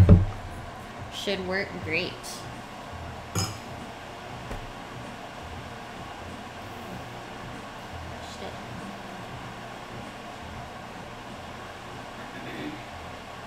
We're not gonna cut the round one just yet, because once we cut it, all of the tomato sauce and stuff is gonna soak into the bottom crust where we cut it. So we want it to stay really nice and crispy.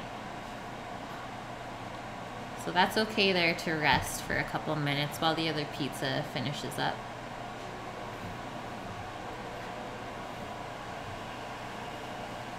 Definitely proud of how the dough looks though.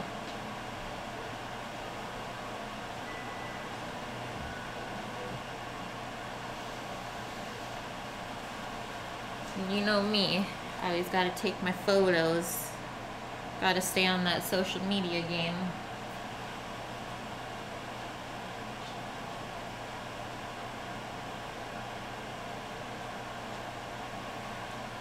You can definitely tell I could have put the pizza sauce a little bit closer to the edge here.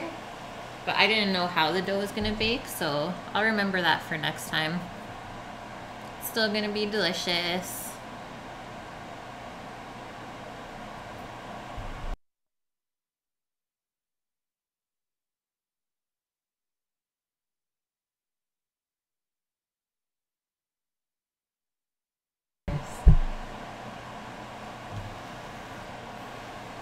So 50 seconds. And then we're having a pizza party.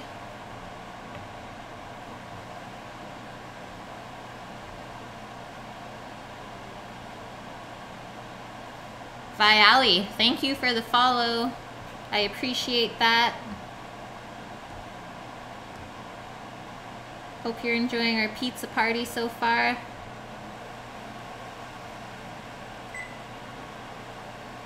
Let's take this big one out.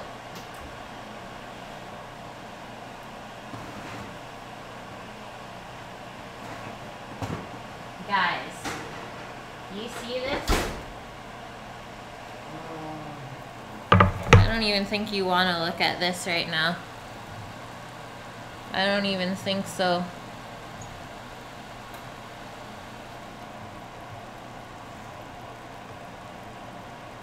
I'll just leave that there. so good. So to garnish with the arugula on this side, we'll cut it up first and then put the arugula on, just so our knife doesn't get messy.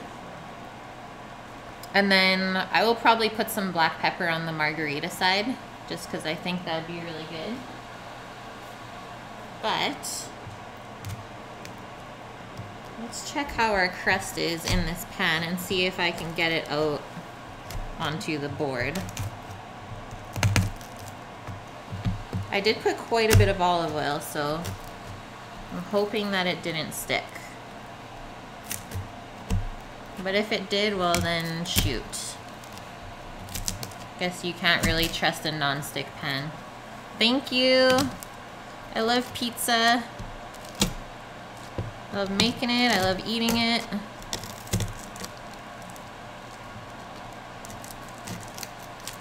Yeah. Smoked meats.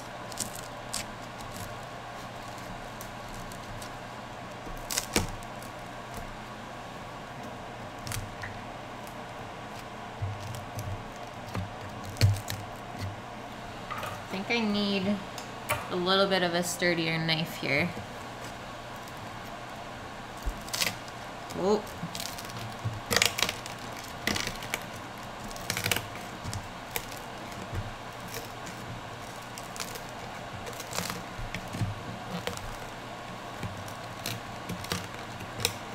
I'm gonna be really upset if this stuff. Because then what kind of non-stick pan is that? Y'all feel me or what? Is that the good cookie pan? Okay, first things first. Let's see what happens when we cut down the middle.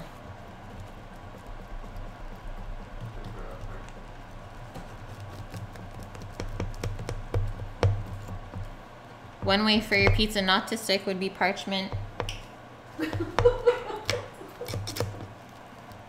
But I was putting my full uh, trust in this pan of the non-stick ability. And I can see that it has failed me. But this is a live stream. This ain't no staged cooking show, so you get to see what actually happens in home kitchens.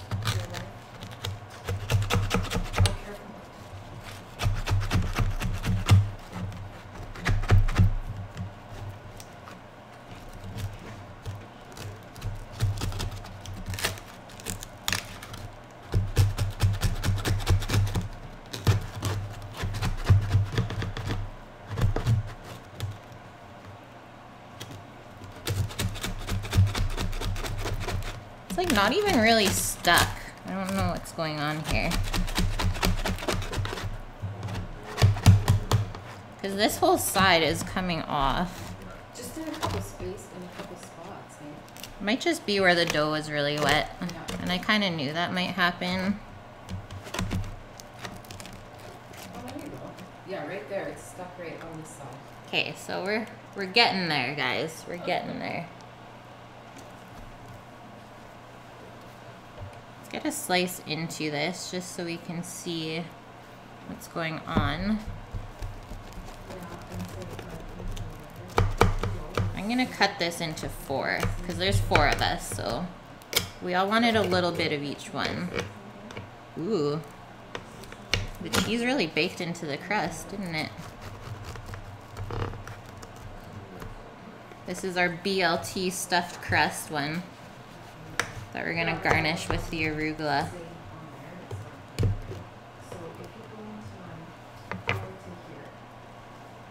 I to taste the crust. It was good. Yeah, or cornmeal, semolina flour. There's a lot of different options you guys could use. I've used something really interesting called spent grain, which is the dehydrated drain or grains left over from the brewing process. I'm just gonna grab a plate here.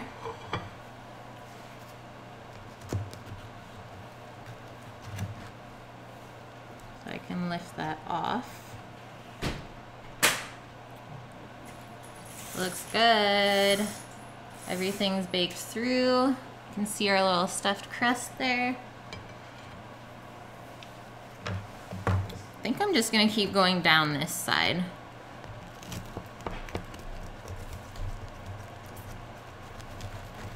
So you guys can see each pizza.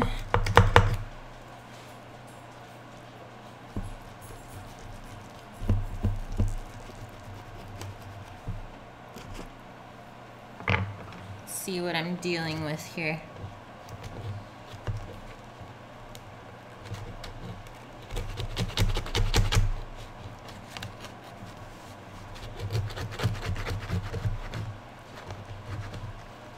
This is what happens when you're used to cooking on a wood stone. Not the same. But Hawaiian is up. If anyone wants this dough recipe, let me know and I can definitely send it your way. It was made with a biga, so traditional Italian style.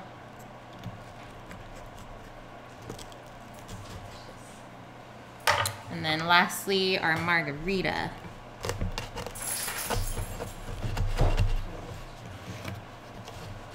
Definitely getting my workout here today.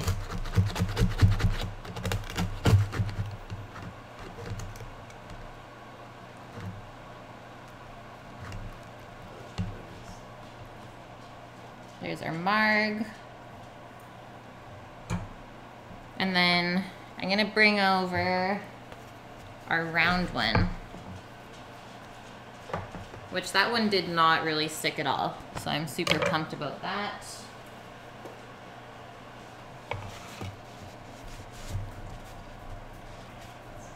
Sounds good, Chuck. Thanks guys for watching. I'll for sure have to make you a pizza one day. Whatever you want.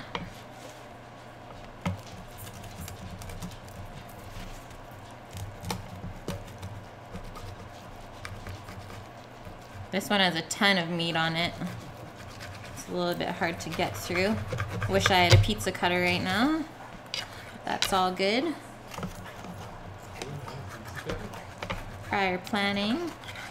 Okay, that one's great.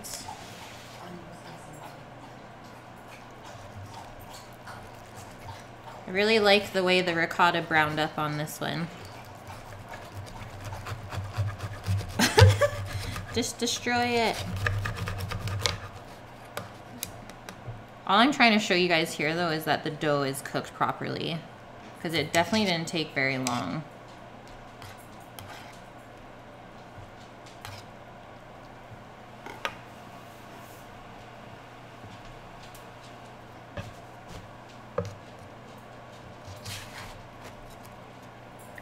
So there's the thin crust version.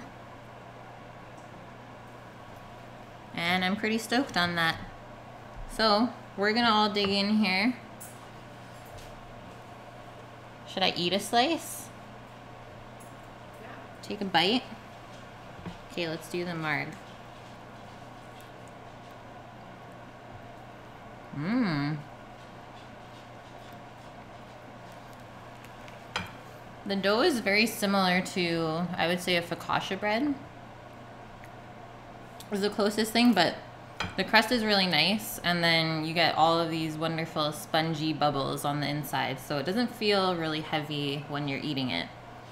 And I like that you can do two different variations with this dough as well. So I did one a thicker crust style and then one a thin crust, and both worked out. So thumbs up to that. I'm just gonna wash my hands off.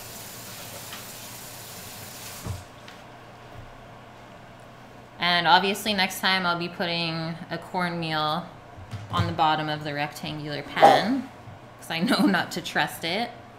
But everything else turned out really well. So thanks everyone for joining the pizza party with me and I hope to see you hopefully this week coming up. Tomorrow I'll be on around 3 p.m. PST and we're doing Meatless Monday with Southwest loaded potatoes. So stay tuned for that. Thanks everyone. Cook with Kait is out.